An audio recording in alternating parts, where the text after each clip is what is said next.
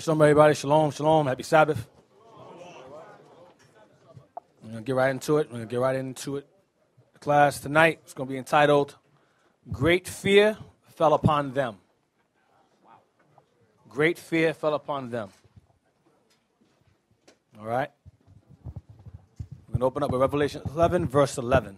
We're going to just jump right into it. Great fear fell upon them. That's today's topic because it's falling upon them and we're seeing it. And it needs to be addressed. The book of Revelation, chapter 11, verse 11. And after three days and a half, the spirit of life from God entered into them, and they stood upon their feet, and great fear fell upon them which saw them. Read again. And after three days and a half, Stop. Now, when our people arrived here, we arrived here around 1619. Now, three days and a half is going to get to 350 years. So when you count, you go do the math, it lands you into 1960s, 70s. That's where it lands, 1970s. And that's when our people start to seek identity. They start to seek nationality. And that's when the heathens begin to rise up against us even harder, or in a, in a more cunning and conspir- in a more cunning way. Um, that goes into the time of the Black Panthers.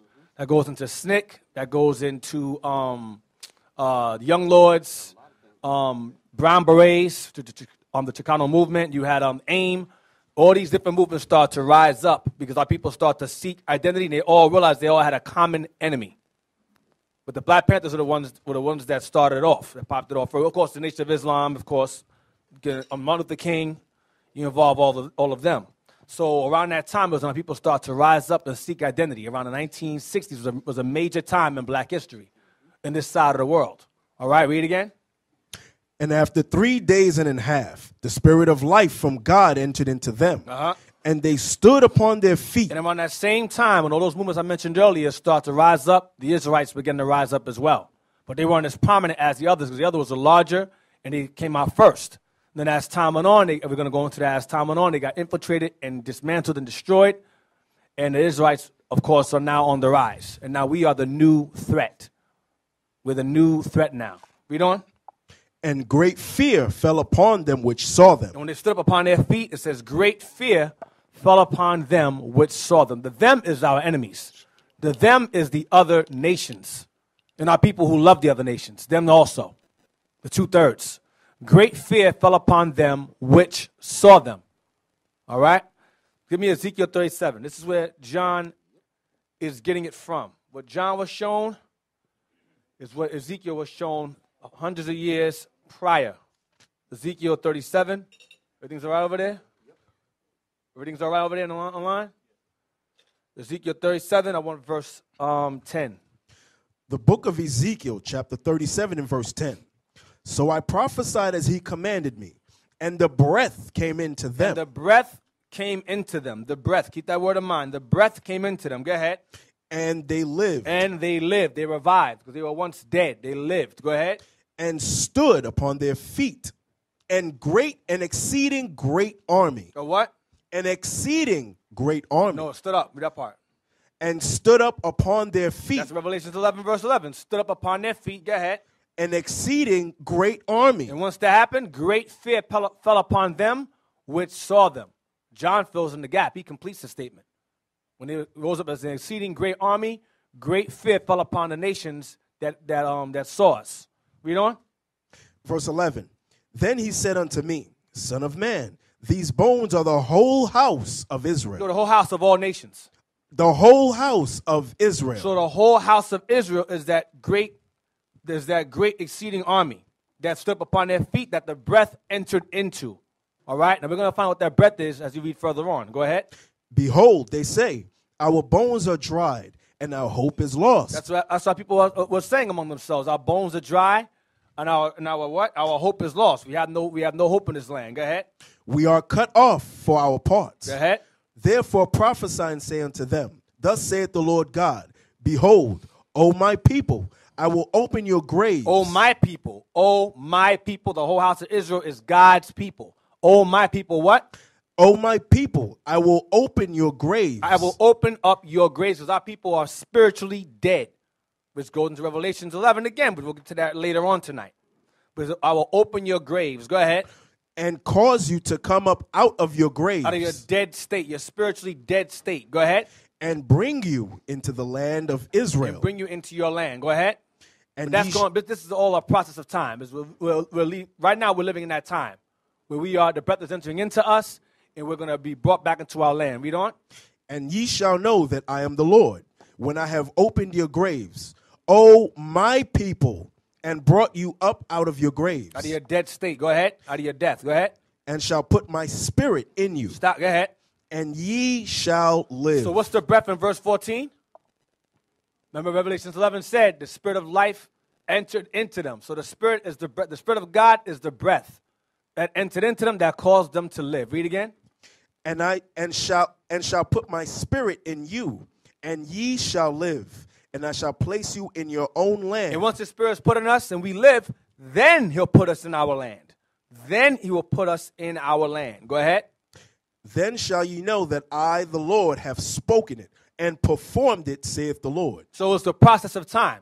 Israel began to rise up. When you read the Valley of Dry Bones, began to rise up, and the flesh came upon them, but there was no breath in them. I mean, they sought identity. They were seeking it, but the understanding of who they were was not quite there. Then, as time went on, the Israelites rose up around the same time later on, and eventually the understanding began to grow. We, we gained our identity around the 1960s, 70s, 70s primarily, 70s. All right?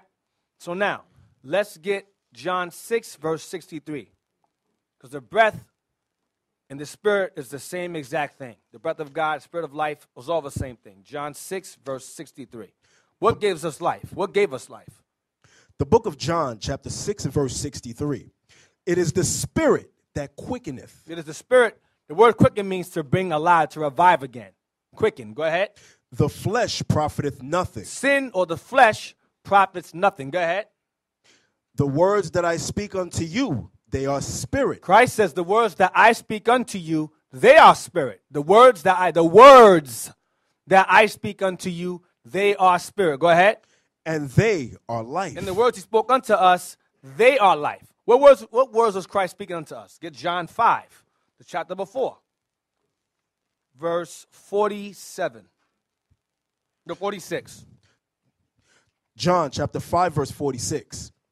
For had ye believed Moses, But had you believed Moses, go ahead. ye would have believed me, Go ahead. for he wrote of me. For what? For he wrote of me. So had you believed Moses, you, you would believe me. For he wrote of me. Go ahead, watch 47. But if ye believe not his writings, But if you believe not his writings, whose writings? Moses' writings. Go ahead. how shall ye believe my words? What were the what were the Messiah's words? Moses' writings. What's Moses' writings? The law. So what gives us life? The law. Proverbs 7 and 2. So when you hear Christianity cults say the law's done away with, they want us to stay dead. That's their agenda. That is their goal.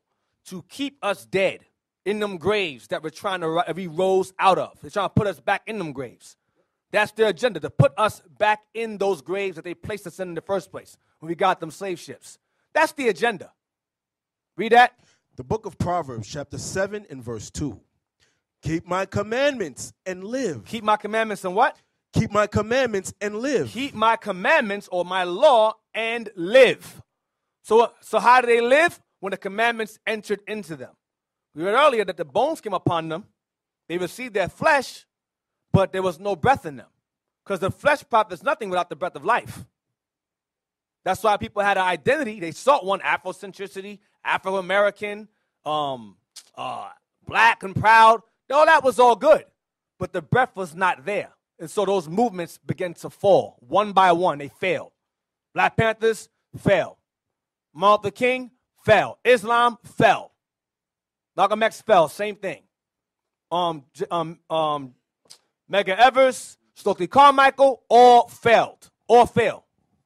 All, all of them fell. Go ahead. You know what's heavy about what, what the deacon is bringing out? Because during the same time when the awakening begins to happen, like in the 60s, like the period that he's talking about, that's what Ezekiel, the 37th chapter, goes into in, in some detail.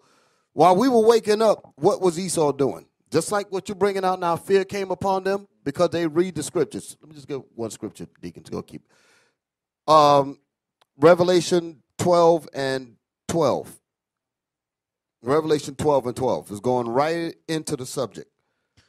Because during like like the deacon brought out, during the time we were starting to wake up, but like the scriptures say in Ezekiel, when you read up a few verses above 10, it says, But the breath had not come into them yet. But we were still, we were trying to get ourselves together. Esau thinks far away. If he sees a resemblance of waking up, he already sets plans in action. Right, exactly. You got it? Yes, sir. Read. The book of Revelation, chapter 12, verse 12. Watch this. Listen. Therefore, therefore rejoice, ye heavens, and ye that dwell in them. Woe to the inhabitants of the earth and of the sea, for the devil is come down unto you. For the devil is come down unto you. This is the great red dragon, Esau, so you can understand.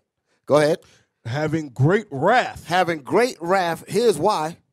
Because he knoweth that he hath but a short time. The question is, how does he know that he hath but a short time? Because he's watching the prophecies. This white man, he read this Bible. And he's looking in this Bible and he's looking out in society and he said, These are the dry bones. And when I see them starting to wake up, I know that this is coming down. So let me start to introduce drugs. Let me start introducing COINTELPRO. Let me start introducing all kinds of things to destroy them and slow them down. That's what's happening. Y'all in here playing games, y'all don't realize what's really going down. Go ahead, Deacon. Wisdom of Solomon 7, verse 24 is my favorite chapter. It Wisdom of Solomon 7, verse 24. Regarding the breath of life or the spirit of life that entered into us that's causing us gradually to live. Because as the word spreads, we're coming to life out of those graves. The graves is not just America. The graves is wherever Israel scattered, that's the grave that they're in the captivity, the, the captivity that they're in. Wisdom of Solomon 7, verse 24. The book of Wisdom of Solomon, chapter 7 and verse 24. And notice wherever our people are located, you'll find primarily three religions. You'll find, well, I'll say two. You'll find Christianity, which encompasses Catholicism, same thing, Baptists, and you will find Islam. Wherever our people are found, you will find those dominant religions that they're either in or forced upon them. Wherever we are, whether it be in Africa, whether it be in this side of the world, whether it be in the Philippines, you'll always find in Haiti, Jamaica, you'll always find our people in some form of a denomination, a Christian, Catholic, denom- it's all the same thing, a Christianity denomination. Always. That's the graves. Keep us in the graves. Because when you think about it, you examine the Christianity cults, all right, you examine them. Whenever they come at us, they always ask, they always say, You're not the Israelites. You're not the Israelites. Okay. And we ask the, the following question we retort, mm-hmm. What are we? Then there's never an answer. It's just, oh, doesn't matter what you are. You're a child of God. Which one? They never give an answer because they do not want you to know. Because you knowing matters. That's why they push the thought of it doesn't matter.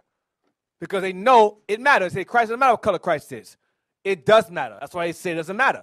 Whenever Esau says something doesn't matter, be mindful because it does. Most likely when he says it doesn't matter, most likely it does matter. But it affects him if you, if you find out how much it does matter, it'll affect him. Read again. The book of Wisdom of Solomon, chapter 7 and verse 24. For wisdom is more moving than any motion. Wisdom is more moving than any motion. Go ahead. She passeth and goeth through all things by reason of her pureness. Go ahead. For she is the breath of the power of God. Wisdom is what? For she is the breath of the power of God. Wisdom is God's laws, and she is the breath of the power of God. That's what wisdom is. That's what the laws of God are. She is the breath of the power of God. Go ahead. And the pure influence. And what is she? And a pure influence. That's the difference between the Israelite movement and all the others before it. She is a pure influence. When you examine Mount of the Kings movement, it was not a pure influence. It was an assimilating influence. It was an integrational influence, which was not beneficial to us at all. At all. That's why, the, the, um, that's what Esau saw as a threat, only because it brought us together. Because he saw things carnal. Well, there's two, if they gather together, I'm going to get that later. I'm going to jump ahead. But Esau started is if they, if they come together with a common, and realize a common enemy, we're, we're in danger. They don't look at it, they don't look at the doctrine as a threat.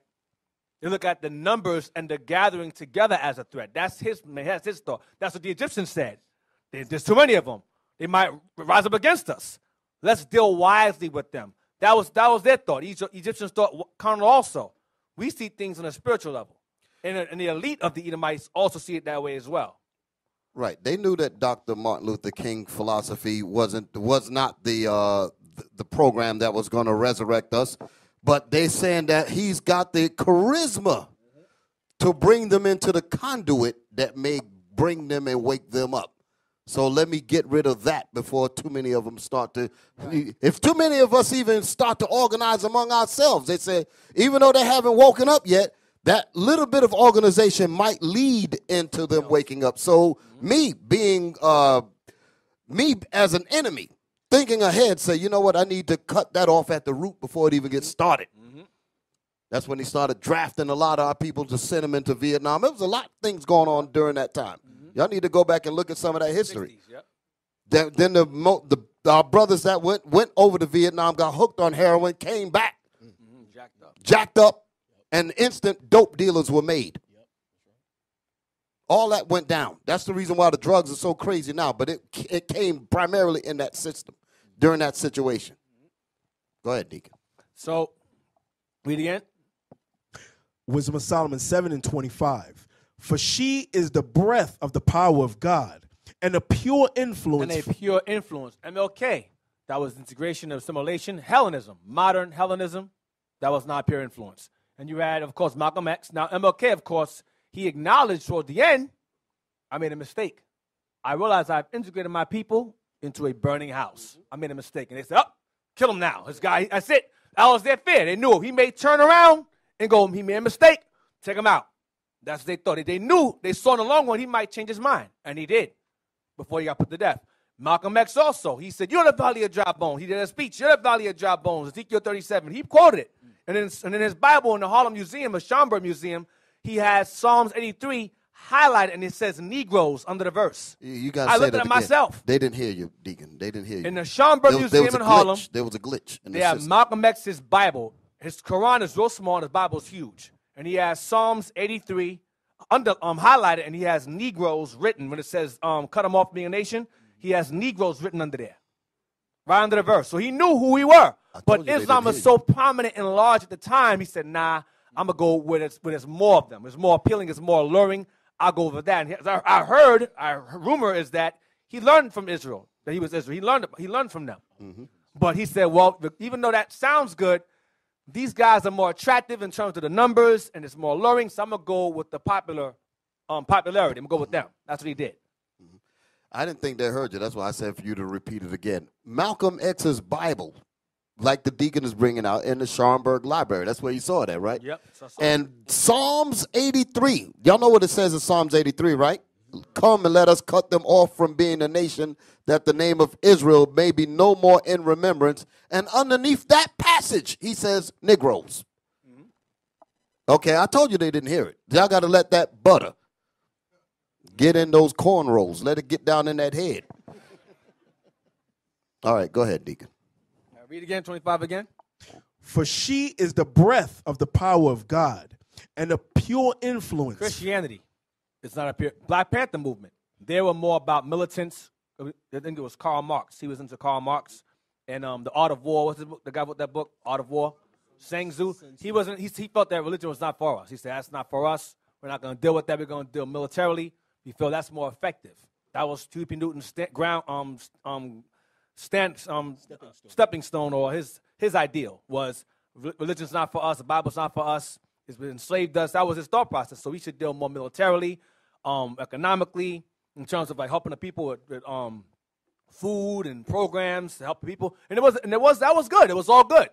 But the but what was missing from it was the breath. The breath was missing. The flesh was there. Unity was there, but the breath was missing. And so the crack introduced. The infiltrations, the provocateurs are introduced. The informants are introduced. The crack was introduced. The um the the jail the um the jail time was introduced. Reaganomics and all that. And you Pol- policies in the jail policies, started all that changing. started rising up. So that was so all of that stuff was used to neutralize, isolate, and turn them against each other. They, they would create false beefs among them, divide them, and so forth. So that so that was easily disbanded. Not easily, but it took time. It was disbanded. It was removed. All right. Then you had young lords. Young lords came about. Now young lords want to be called Brown Panthers. But The, um, Black Panthers said, "Don't call yourself. Don't, don't, call yourself that." Remember, they were two. They were still divided against each other. They said, "No, don't call yourself no damn Brown Brown Panthers. You, young Lords is good for you. Keep the Young Lords. Don't you ain't, you ain't us." That was their that was their thought process. You know, at the time, even at that time, we were still divided. But the Young Lords still were inspired by the Panthers. They came, they came like a year a year later, and they, they came like a year later, and they were like, "Listen, okay, fine, we're Young Lords, but we're gonna follow that pattern." Then the Chicano movement came about. Issachar came around. Mexicans came. The Brown Berets came, inspired by the Panthers as well, as well as the Young Lords. Or they're on the same time, I believe, when Young, Young Lords were the same time, I think, or I'm not, whatever. At the same time, and they were also inspired the same way. AIM, same thing. So Judah, pretty much, and Benjamin, because it was Bobby Seale, he's Benjamin, and Ju-. Newton is Judah. Those two were like the uh, the forerunners of the of this revolution, Black Revolution, the the rising SNCC, all that, Stokely Carmichael, um, Fred Hampton, all of them part of that. All of them um, rose up and began a revolution that pretty much um, wave caused a wave that rippled through all the kingdom, Northern Kingdom as well, Hispanics as well. All right, inspiring them, and that was a problem. All right, read again, twenty-five. For she is the breath of the power of God and a pure influence flowing from the glory of the Almighty. Christianity doesn't flow from God. It is not a pure influence because Christianity tells you, come as you are and stay as you are. That's not a pure influence. Law's done away with. That's not a pure influence. Read on. When it says what when it says pure influence, somebody tell me what that means. Pure influence. Because this is what the apologetics are worried about. They're saying, what is it about Israel that these brothers and sisters are taking on to that Bible and we can't crack them? We can't bring them back. Shalom, leadership, Brother Matthias. It means that they don't have the laws. They don't have the Bible. They don't know the commandments. The pure influence is the laws of God. Right. The pure influence is the laws of God. And it also means that anything else uh, pertaining to the Bible means it's vain, meaning that the Bible is really about what you just said. When they try to use it in Christianity, it's not pure. When they try to use it in Baptists and these other kinds of things, it's not pure. The only way the Bible functions and it's pure when it's in its rightful hands. That's why I said that before. When it's in its rightful hands, when the correct doctrine is being taught, that's when it's going to have the maximum effect. That's when the Bible's going to come alive. That's when it becomes tangible to our existence. All right, Deacon, that's it. When you mention them, the, the Christianity cults, when you mention them, they, have, they believe it's okay to celebrate New Year's, Christmas, Thanksgiving. I've heard them say it. They advocate, yeah, you could do it. Let no man judge you in meat or in drink or, or a holy day. I'm like, what? That's not what Paul is talking about, Thanksgiving and Christmas. That's not what he's talking about, but I've heard them say it. Then when you say, according to the Bible, is America doomed? Is America doomed? No, that's your interpretation. America isn't going anywhere. When you think that, it's not a pure influence. Because Christianity is, is, is supports America, supports America. It supports America. If you ask any person in Christianity, is America doomed according to the Bible? They will tell you no. Judge not lest ye be judged. I've seen it. That's how you know it's not pure influence. Now, all the things America has done from her past to her present, has she not violated every single law of God? Her, within the past, what, 300 years she's been around? She's violated every single law, to the Ten Commandments, whatever you, whatever you Christians want to subscribe to. America has violated them all. Other guys before me, violating the Sabbath, stealing people, coveting land don't belong to them, lying, adultery, uh, advocating adultery, pushing homosexuality. But America is no, no, America's just fine. It's Christianity is not a pure influence. And Christianity is the root of democracy. It's the same thing. It's no different. It's the same exact thing. Read on from pure influence.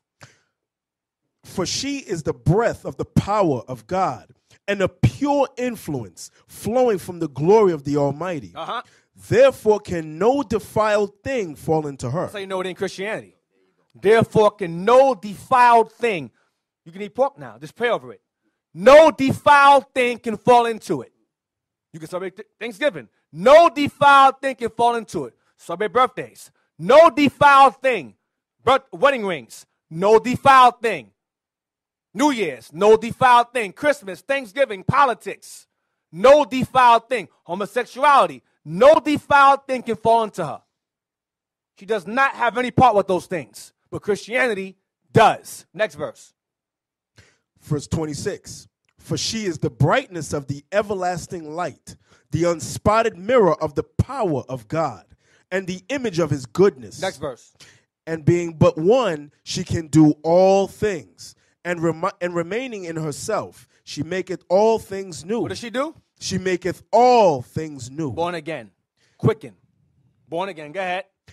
and and in all ages entering into holy souls she maketh them friends of god and prophets Go back to verse 24 again.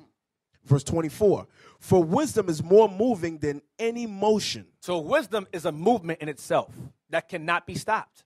That's the problem. They feel they can try to come against us and try to stop us. They cannot stop it. It's, it's more moving than any motion. The Panthers was a movement, it fell. Islam, at at one point in time, Malcolm was a movement, it fell. SNCC fell. Those, those are all movements. But the scriptures say that wisdom is more moving than any motion, meaning it cannot be stopped. You can put crack in it, ain't gonna work. Homosexuality in there ain't gonna work. It's not gonna work. Because no defiled thing can fall into it at all. Right. Jump down to jump down to verse um 27 again, the bottom of it, make it all things new. verse 27 she Yeah. she maketh all things new and in all ages entering into holy souls Enters into holy souls. Go ahead. Not wicked souls, unlawful souls, holy souls. Go ahead. she maketh them friends of god and prophets That's what wisdom does. Wisdom is God's law. She makes wisdom, the laws of God make you friends of God and prophets.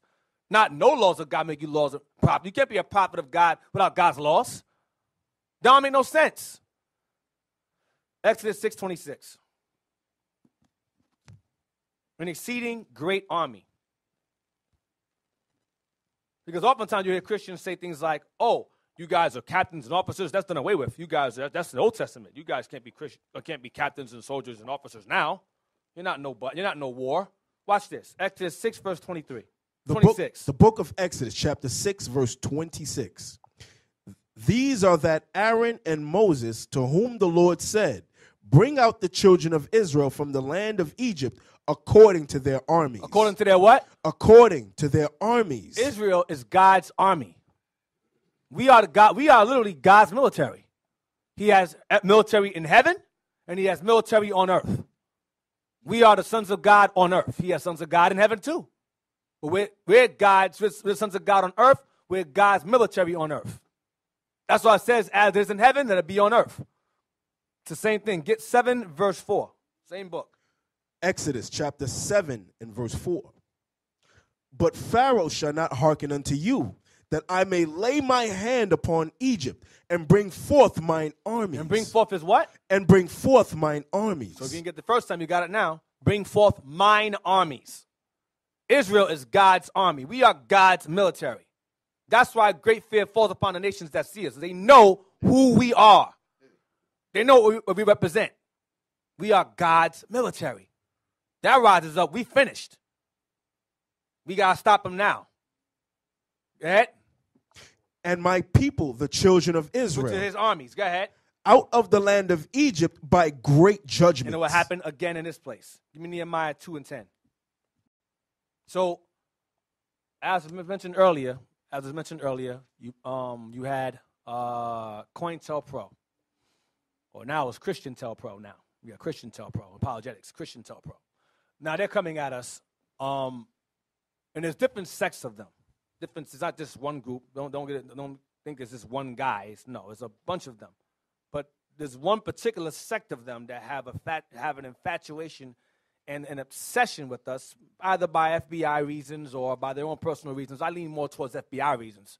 But the bottom line is, is that there is a certain the infatuation translates to fear. No matter how you know Esau, he's very, very hmm, how I put it. They're very, very cunning in terms of when they're afraid of you or they're angered, they have to carry themselves in a certain demeanor that comes off like, the, not, like, like you're a pushover. Like, eh, eh, whatever. These guys, these black Hebrew Israelites. oh, Biff. Tucker. these guys think they're Jews. Meanwhile, they're scared out of their mind. Put on that poker face. Amber. Tiff. they think they're Jews. they're afraid of us. Hey. Don't fall for don't fall for the smiles. Don't fall for that. They're afraid of us. I'm telling you straight. Yeah, and you know how you know they that they're afraid of us? You know, when you see when you see they going and sit down and reading Deuteronomy 28 and reading the scriptures that we bring forth and trying to dissect it to find a way to try to to to, to debunk it, that show you that there is a fear there, man. That show you that there is a fear. That's how you know they fear. Because when you watch at the video, they're always trying to like everything we say, every scripture we pull, they're trying to find something to counteract it when they can't. You understand? Right. You don't see them trying to debunk the Quran. None of that. You don't go into the Quran and try to debunk Surah, well, Surah, whatever they call it, Surah or whatever names they have. Mm-hmm. Cow. They ain't trying to debunk that. Or the, they ain't trying to debunk the Ma'at, the, tru- the, the, the um, confessions. They ain't trying to debunk that. Because the, the, the, um, the conscious community, they say that the commandments came from Egypt. They don't try to debunk them. Eat them alone. Because that is not a threat to them. They don't. They're not. They're not threatened by that. They're like, ah, you guys think you're African. That's cool. Well, we can go with. We can run with that. But watch this. Watch this. If I lose my thought. Watch this. They argue and say that our understanding of Jacob being a black man and Esau being a white man is ridiculous. You know how they talk. It's ridiculous. It's preposterous. These guys think that Esau was a white man. listen. Listen to me carefully. To listen to the hypocrisy they'll say that Esau and Jacob were not um, black, well, not white and black, whatever, right? Esau and Jacob were not white and black, right? But then when you examine Ham, let's examine Ham for a second. They'll say that we're Hamites, right? Which Hamites are we? You're Cush. Okay, we're Cush. Okay, cool. So Cush had three other brothers, right? He, Ham had four sons. He had Cush, Mizraim, Put, and Canaan, right? So if Cush is, is the father of Ethiopians, which means burnt faced, right? That burnt faced brother had three other men that were his siblings from the same parents. And yet somehow Mizraim is white. So that means that Ham is a progenitor of a white race and black race, kind of how we say that Isaac is a progenitor of a white and black race. But we're preposterous. It's not making any sense. I'm confused. Do y'all follow what I just said? You hear the hypocrisy in that. The Egyptians, Ham had Ham was the progenitor of all the um, people of African continent, all of them. Ham is a progenitor of Canaan, Put, Cush, and Mizraim. Egyptians, Libyans, Canaanites, and South Africans, right? But somehow, out of four of those black children, one's white. Explain this to me. I need to understand. Esau and Jacob is ridiculous, preposterous. but Mizraim and Cush, white and black. I don't get it. Because they know that if, if Mizraim is black, and Moses looked like Mizraim, There you go. and Paul looked like Mizraim, and Joseph passed him Mizraim, the Jews is black. Mm, mm, mm, Boom. So we gotta debunk that. We gotta okay, let's find a way around it. No, no, white man, it's too late now. It's- it's- stop. The train's already moving now. You're trying to catch it while it's at the stop. We're done. We're gone. Deacon. We're moving. It's stop. it got so bad with them. Not only did they show you during the time of Cecil B. DeMille's uh, Ten Commandments, that movie that comes out every year around Passover time, where they have Woody Strode, the black actor, playing as the king of the Ethiopians, coming to the Egyptians, played by Yul Brynner, played by white folks. And both of those are, are, are, are blood brothers. They're supposed, just like the point you're bringing out. But they got the Egyptians played as white people and they got the and they got uh, the Ethiopians because they can't lie about them. Everybody knows the Ethiopians can't lie about them, so they got him as black. But let me show you how deep they go, how deep their their, their uh, psychotic minds go. Even re- with the recent movie like the Bible, that's the more recent one that came out a few years ago. They had Samson played as a black man. Samson as a black man in the movie and the Israelites are white people. They got they got they got so-called they got this white man playing Jesus, the white man playing Mary and all of this, but Samson is a black man in the movie. Because that's supposed to represent him him messing up with God. That's the reason why they did that. That was some uh, that was some warfare that they were right subliminal warfare on that. But if they have Samson as black, that means the whole nation of Israel was black, and that's in the movie. Go ahead, Deacon. That's it. You got to use that. You got to ask him that. So how is the Egyptians white and his brother is black? Is it the same argument we use? Now we know historically that Esau is a white man. He says it in his own books. I brought it out in the video. The elder brought it out. That's a dead issue to me. Now, you can argue if you want to. Regardless of who Esau is, he's condemned. So even if you say he's not the white man, we can go with that lie. I love, I love that. That's fun to me. Esau not the white man, no problem. He exists, right? Because you, get the proof he doesn't exist. He does exist. All nations exist. So therefore, regardless of whoever he is on this earth, whether he's uh, excluding white people, there's a nation on the earth that's condemned, which means all nations cannot be saved. So you're still destroyed. You can't stop us. Stop it. Stop. That's why you always just go to Romans 9 13 for everything. And Obadiah. Romans 9 and Obadiah, and that's, that's the end you of stay it. there. Don't go nowhere else. Nehemiah 2 and 10. The book of Nehemiah, chapter 2 and verse 10. When Sanballat the Horonite and Tobiah the servant, the Ammonite, heard of it, it grieved them exceedingly that there was come a man to seek the welfare of the children of Israel. They found it to be a threat that a brother came along and sought the welfare of the children of Israel, of his own people. Heathens don't like seeing that. That's the that's COINTELPRO's origin right there. The, the, to neutralize or isolate or to remove a threat that loves and cares, excuse me, for their people. We're reading it right here. Get First Maccabees 3 and 1. Hey, how this work today? It says that it grieve. Read that one more time.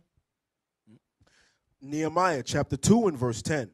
When Sanballat the Horonite and Tobiah the servant, the Ammonite, heard of it, it grieved them exceedingly that there was come a man to seek the welfare of the children of Israel. So how does it grieve the nations today when when they when how does this scripture apply today? Today when they see us rising up and we on the street teaching this gospel, that's what grieving them. Mm-hmm. You understand? Because we out there, why we out there? We out there to wake our people up. We are there to deal with our people. So when they see us seeking their fear of our people, their fear of the children of Israel, we are there teaching our people that, listen, you all are the Israelites. And when they see what they see, and they see in Israel waking up throughout the four corners of the earth, you understand? They see in schools setting up in different countries. You understand? They see that there are men that seeking the affair of the children of Israel. Mm-hmm. You understand? And that man is us. You understand? That man, those men is you, brothers.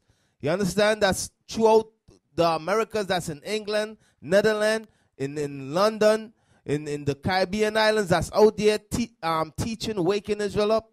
You, you all are the ones that why these men is getting mad, why these these heathens is getting mad. Mm-hmm. All right? The first Maccabees 3, verse 1. The book of First Maccabees, chapter 3 and verse 1. Then his son Judas, called Maccabeus, rose up in his stead. Mattathias' stead. Go ahead. And all his brethren helped him. And so did all they that held with his father. Uh-huh. And they fought with, the with cheerfulness the battle of Israel. Go ahead. So he got his people great honor and put on a breastplate as a giant and girt his warlike harness about him.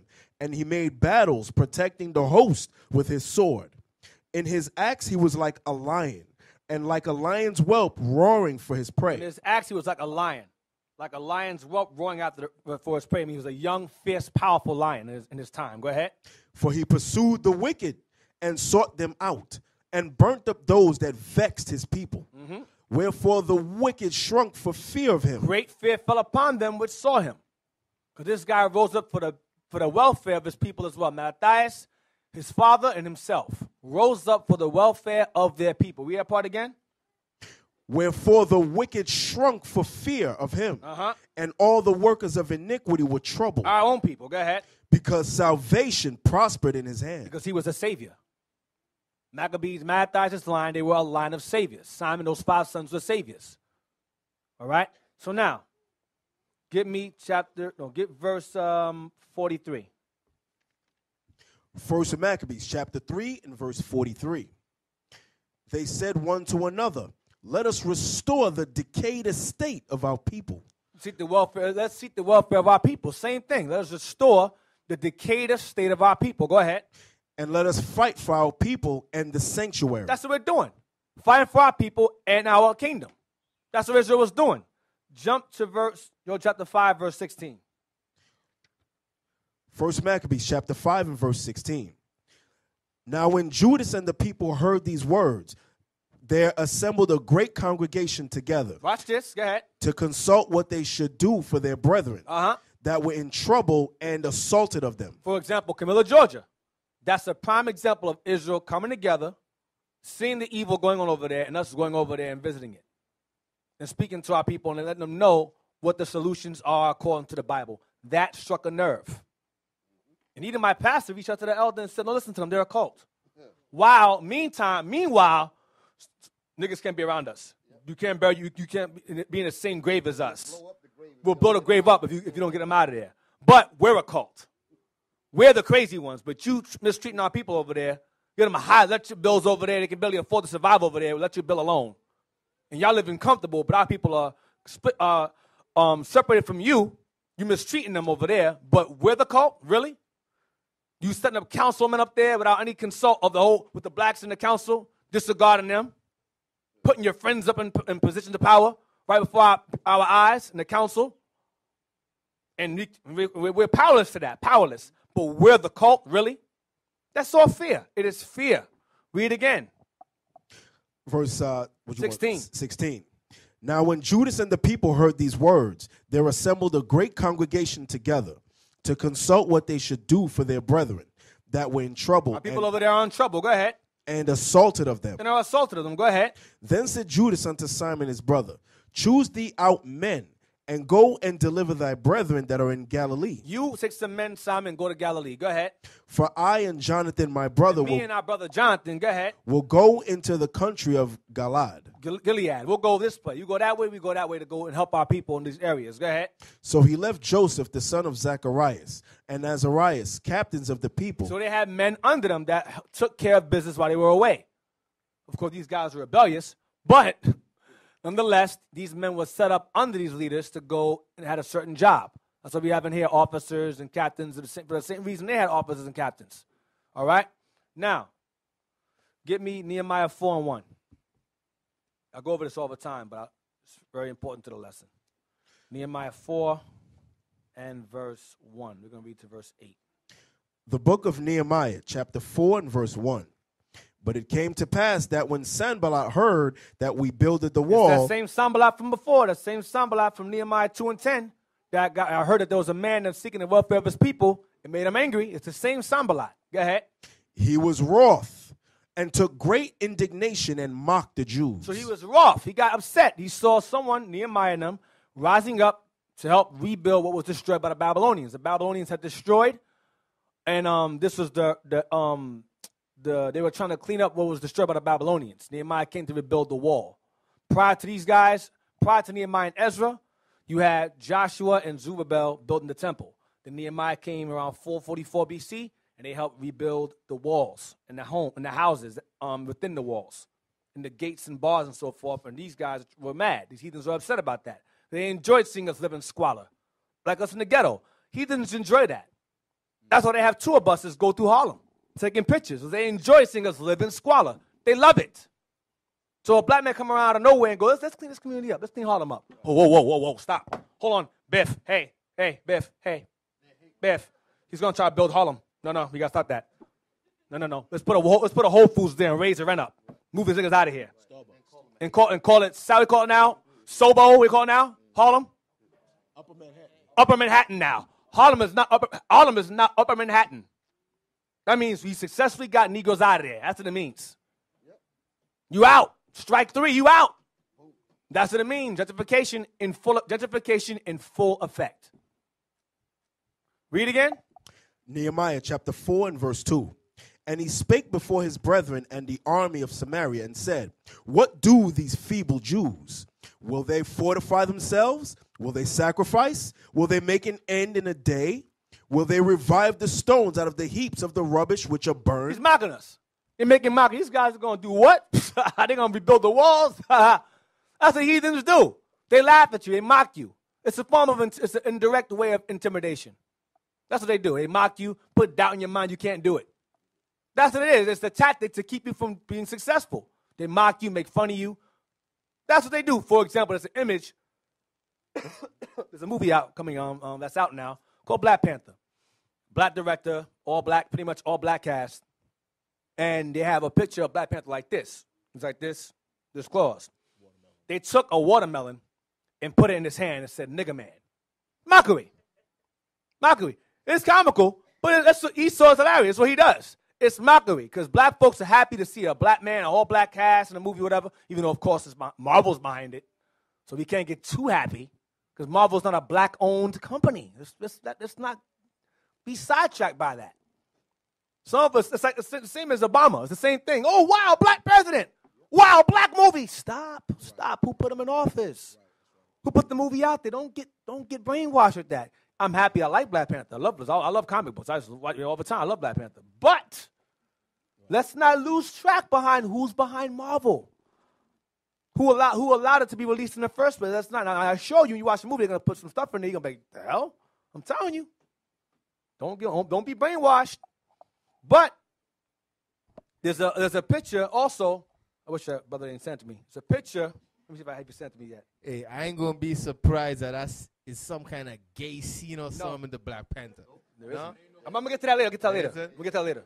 Uh, I'm gonna do that later. Watch surprised this. Some... No, I'll do that later. You ready? I'm gonna get to that. Here we go. Now I'm gonna say something real quick.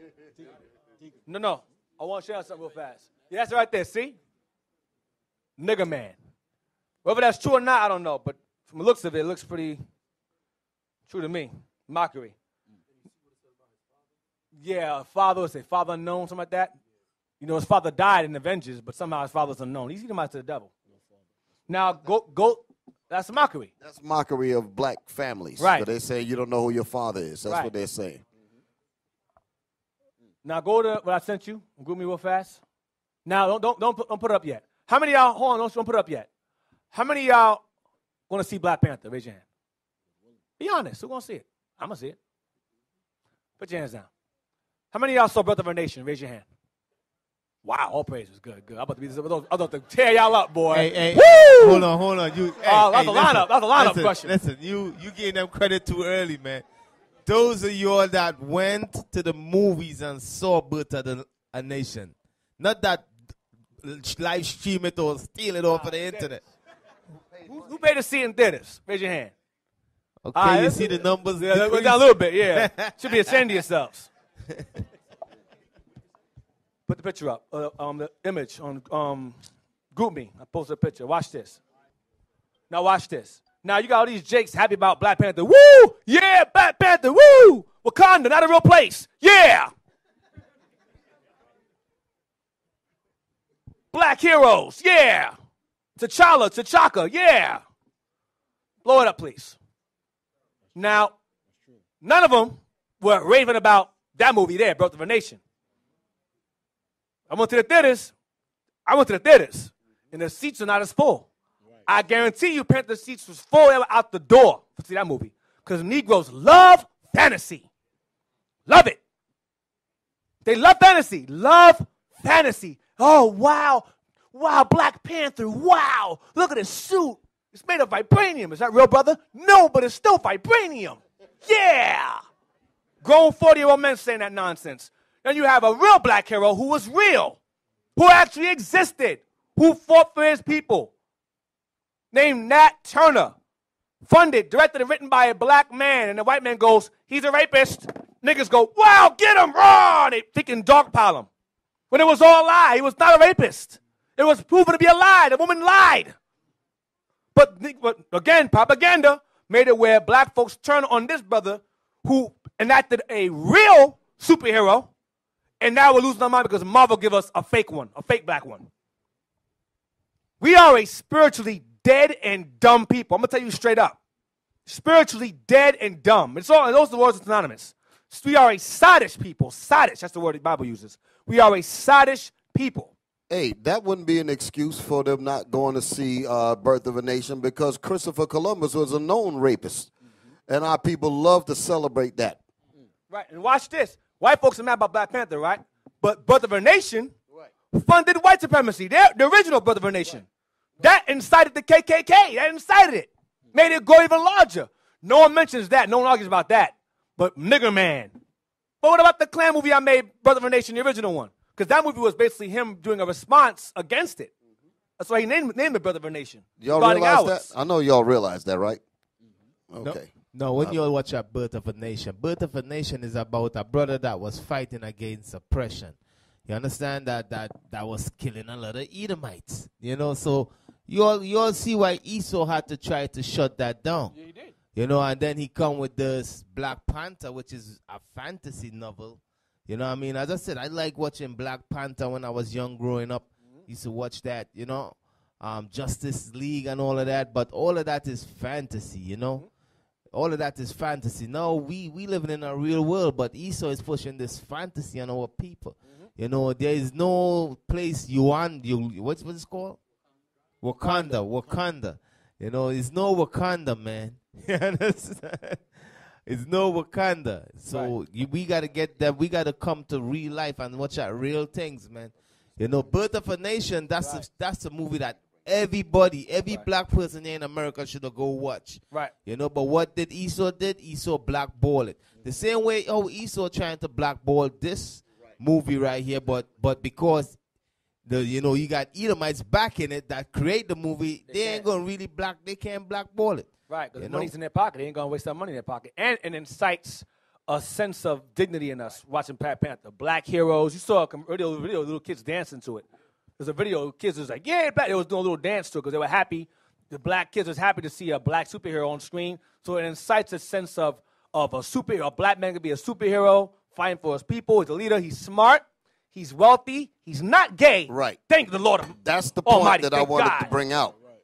Not not just the gay thing about what like what Deacon Malachi is saying about inspiring so like like us have a superhero among us. Mm-hmm. Although it's it's fantasy in terms of of of real of real situations like Nat Turner, but it still can have an effect on the children to look up to their own as opposed to looking up to quote unquote white superheroes. Now, some may argue, uh, watch this I, I think like a Negro thinks. Some y'all may say, what about Brother of a Nation? He's married to a white woman.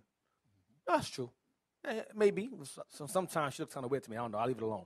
But the point is this regardless of who he's married to, he still understood, he still stood by um, the strength of inspiring in us a sense of, of, uh, of black, of self dignity by showing us a true black hero that existed and fought for his people. That was his point. Regardless, now we all know, of course, you know, he should, he, he's on the world, he hasn't repented yet. But nonetheless, you got black folks that say he married to a white girl, blah, blah, blah, blah, blah. But then they go and see a white produced movie about black heroes. What's the difference? There is no difference, regardless. And the difference is that Nat Turner was a real person that fought, that fought and loved his people. Mm-hmm. That's the difference. And I guarantee you, I could be wrong, might be a spoiler. I guarantee you the villain is, is Nat Turner. I guarantee you. The guy playing the villain is going to be the good guy. It's going to be, um, reverse. It's like Zod and Superman. Superman's going to be the same thing. Watch. I guarantee it. Never fails. It's going to be some kind of message in there to love everybody. We're all one and let's all integrate. Watch. Watch. Don't get too excited. I like it because it's entertaining. The, the graphics, woo! The graphics and the CGI is excellent. But watch the story. Watch. Pay attention. Now, let's get um what I want. Nehemiah 4, verse 1. You want to say something? Nehemiah 4, we were at. We're at verse. Oh, uh, somebody had their hand up, right? I'm sorry. Yeah.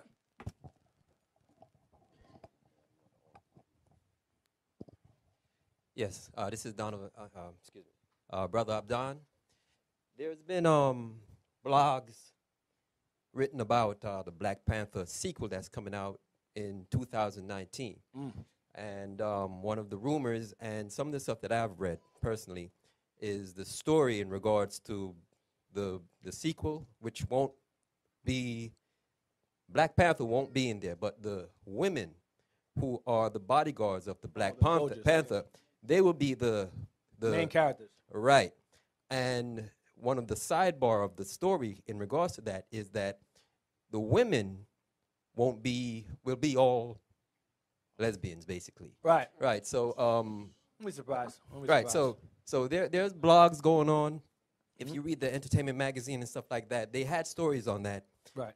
But now you don't see it no more. But earlier, I, I, before the movie was released, uh, what was it? 2017.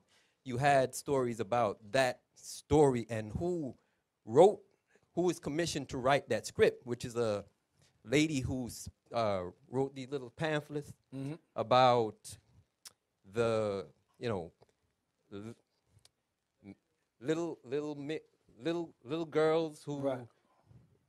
I, I forgot these stories that they Right. Little little little- stories. Right. yeah, so it's, it's it's a it's a white lesbian woman who is basically commissioned to to Oh, write the the sequel to that. Won't be surprised. Right. It's like it's like with Blade, when Mark, when Blade, when Mark, when Matrix came out, one, that was great. Black, a sister wrote that. Of course, they hid that hid that away. But Wachowski Brothers stole that screenplay, stole it from her. Her name was um, her name was um, what's her name? Her name was, forgot her name. Her name escapes me. But she wrote Matrix, whatever. Sophia Stewart, thank you. Then the Wachowski brothers um, stole the screenplay and made it their own. Then they made part two and three to cover themselves and ruined it. So while two and three was bombing, they came out with Blade, a black superhero Marvel again. And one is good, and two was better than one. And then three came out. What they do? Put the white guy in the front, white woman in front, Nightstalkers. They had Jessica Biel, and they have Ryan Reynolds, Deadpool in there. He's the whole main, main character. And Blade's all getting beat up by some. It was horrible. It was horrible. But that's what they do. And they see the black superhero getting too much shine. Okay, push his black behind the back, put the white folks in front, put the gays in the front. That's what they do. This is what they do. Read on, Nehemiah 4. Let's continue. The Verse book, 3. Of, the book of Nehemiah, chapter 4 and verse 3. Now Tobiah the Ammonite was by him, and he said, Even that which they build, if a fox go up, he shall even break down their stone wall. Hear, O hear, O our God, for we are despised, and turn their reproach upon their own head, Go ahead. and give them for a prey in the land of captivity Uh huh. and cover not their iniquity, and let not their sin be blotted out from before thee. The evil speech against us and against you. Go ahead. For they for they have provoked thee to anger before the builders. Go ahead. So built we the wall, and and all the wall was joined together So all that mocking and all that distractions they was trying to do, it was a fail. It was a failure. So we see he says, so we built the wall and all the wall was joined together. Go ahead. unto the half thereof. Unto the half that was still standing. Go ahead. For the people had a mind to work. The people had a mind to work. The people had a mind to work together to build. The, this is the true Reconstruction era of our people.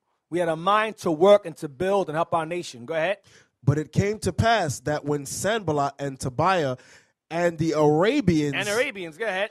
and the Ammonites Japanese, and the Ashdodites Africans. heard that the walls of Jerusalem were made up and that breaches began to be stopped, then they were very wroth. It pissed them off. This pissed them off greatly, seeing us, all the mockery and all the distractions they were trying to cause. It did nothing. It was a fail. It was a com- complete failure. Go ahead. Verse 8 and conspired all of them together. What they to- do? And conspired all of them together And it conspired all of them together. Go ahead. to come and to fight against Jerusalem and to hinder it. And to hinder them from building the land, or us now building our nation. They're trying to hinder that with all their little meetings. We'll get to that later. All that little nonsense going on. That's the that's the agenda to stop Israel from being built up. Get Nehemiah six and ten. Nehemiah chapter 6 and verse 10. Afterward, I came unto the house of Shemaiah, the son of Deliah, the son of Meta- Metabil, Mahatabil. Mahatabil, who was shut up. And he said, Let us meet together in the house of God. The temple. Go ahead. within the temple, and let us shut the doors of the temple, for they will come to slay thee. Yea, in the night will they come to slay thee. Why don't you hide here? They're gonna people are trying to kill you. Hide here, you'll be safe. Go ahead. And I said, Should such a man as I flee? Should I, as a leader, have fear and, and run when someone's trying to kill me? No. Go ahead. And who is there that, being as I am, would go into the temple to save his life? I will not go I'm in. not going nowhere. I'm not hiding anywhere. I'm not going nowhere. Go ahead. And lo, I perceived that God had not sent him, Based upon that advice he gave me, God is not done with this guy. Go ahead. but that he pronounced his prophecy against me. For Tobiah and Sanballat had hired him. See that? For Tobiah and Sanballat, the same guys that were mocking us, the same guys that got mad when Nehemiah showed up for the welfare of his people, they hired our people against us. This will be what you know as informants or provocateurs. That's them. The ones that infiltrate, come into the come into the um, amongst you and get paid off to cause all kind of issues and rifts between Israelite groups and so forth. That's the agenda. That's what they do. Go ahead. Verse 13. Therefore was he hired, He was paid off. that I should be afraid, that I should show myself fearful before everybody. Go ahead. and do so, and sin, And be seen as a weak man before all, because fear is sin. Go ahead. and that they might have a matter for an evil report, that they might reproach me. So people will look at me and say, damn, this guy tried to, he's a leader. He hiding in the temple. What kind of leader is that?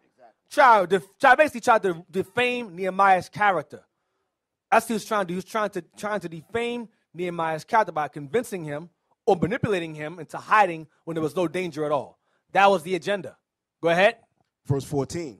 My God, think thou upon Tobiah and Sanballat according to their works, and and on the prophetess Noadiah, Go to sister. Sister was also paid off. Go ahead. and the rest of the prophets And all that, the other sellouts. Go ahead. that would have put me in fear. Go ahead. So the wall was finished in the twenty and fifth day of the month Elul, in fifty and two days. Watch verse 16. And it came to pass that when all our enemies heard thereof, and all the and all the heathen that were about us saw that saw these things, they were much cast down in their own eyes. They were what? They were much cast down in their own eyes. Because they could not stop it. Go ahead.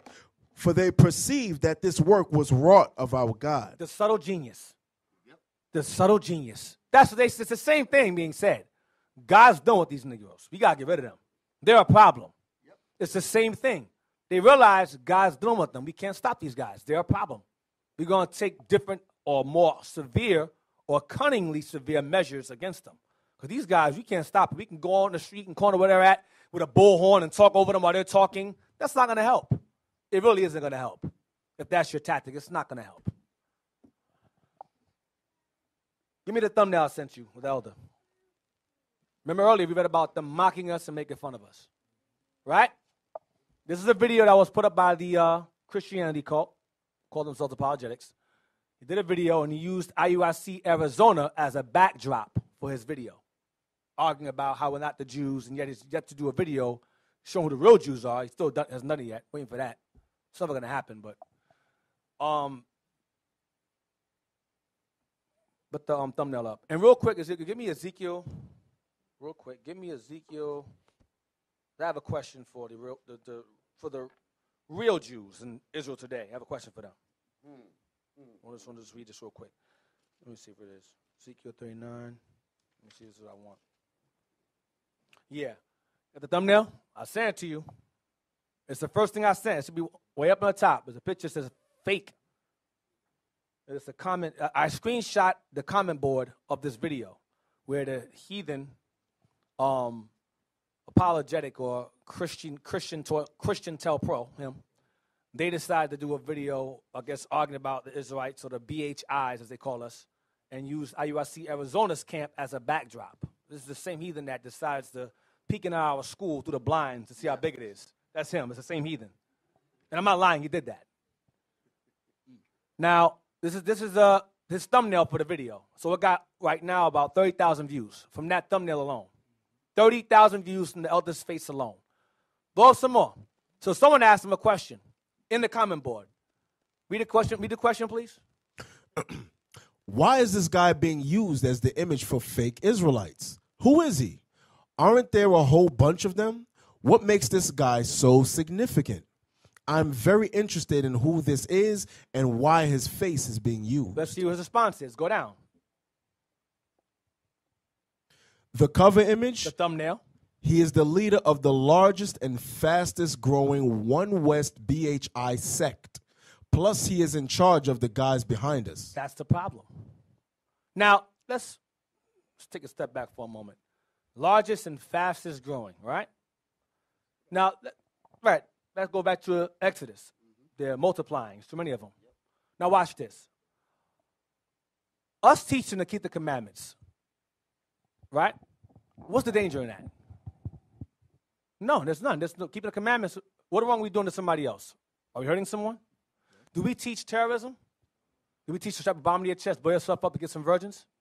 Do we teach the pedophile, touch little boys? You teach that? Gang violence? Kill white people?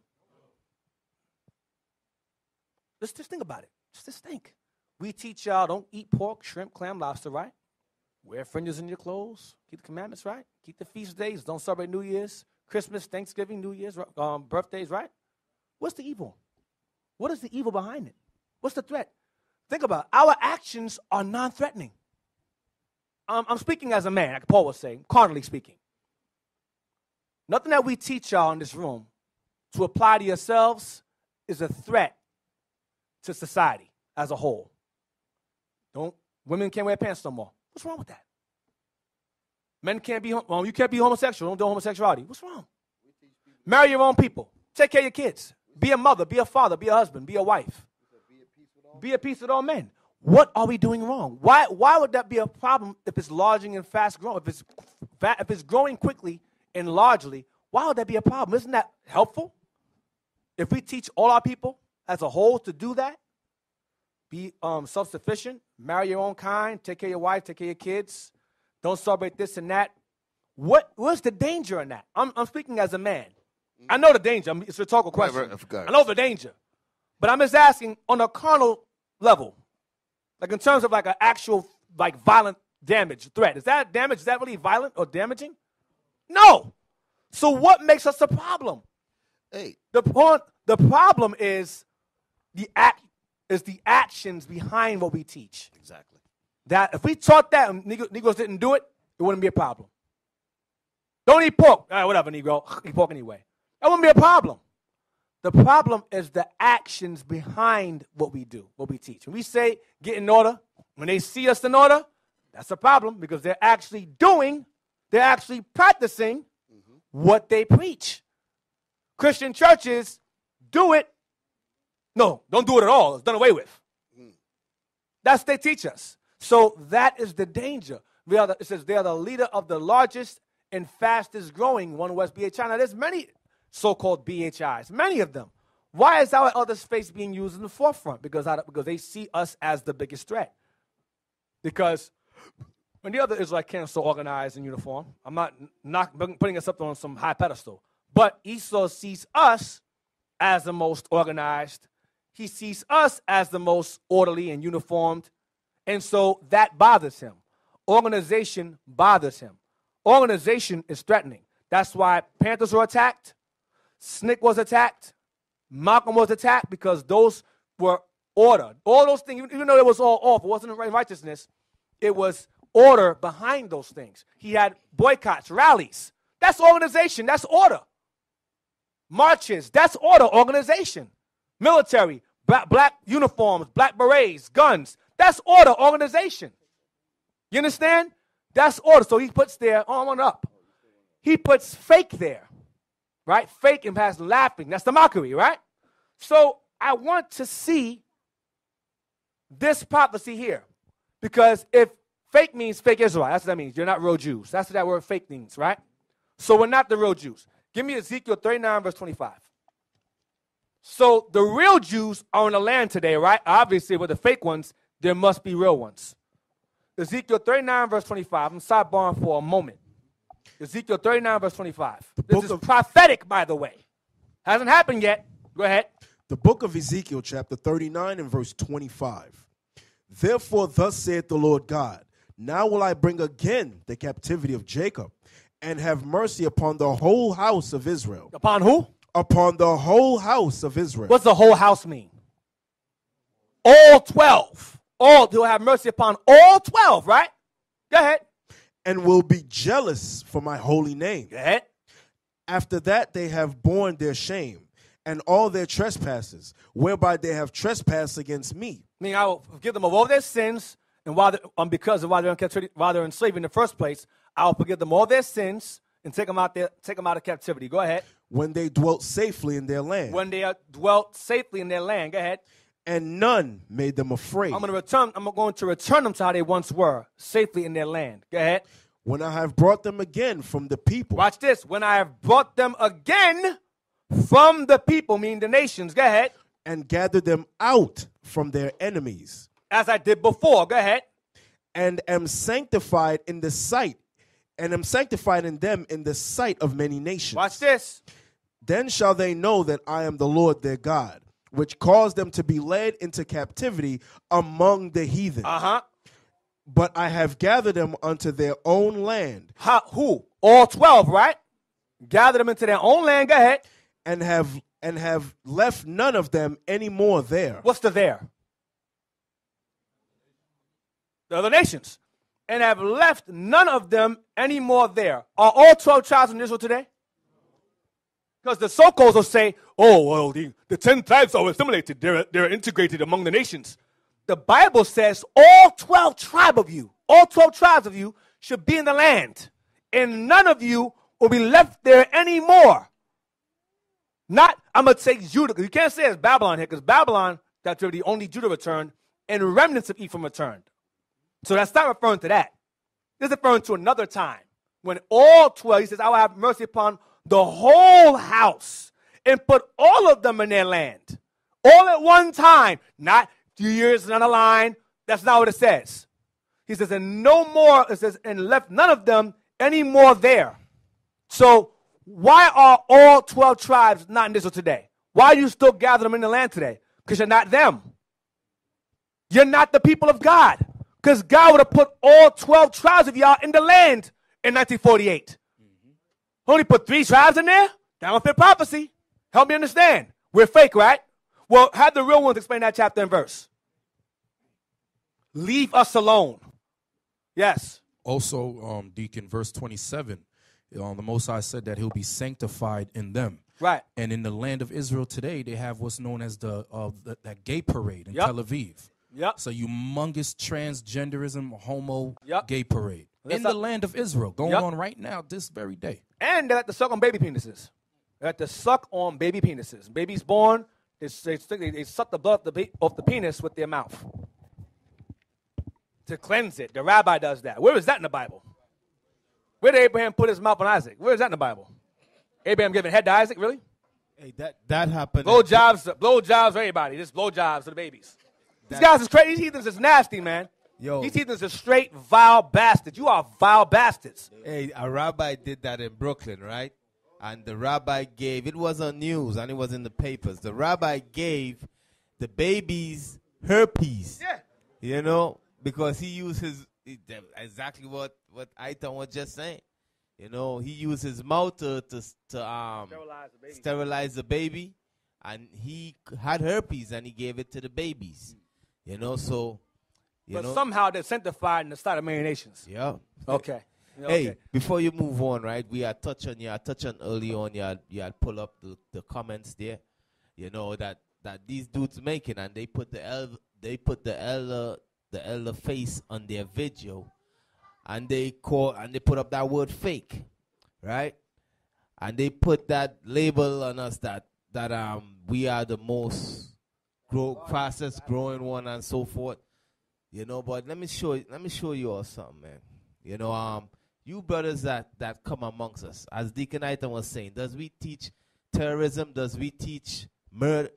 No, we here and we teaching you brothers and sisters to what? To get yourself right, get your life right. You understand? Repent. The kingdom of heaven is at, is at hand.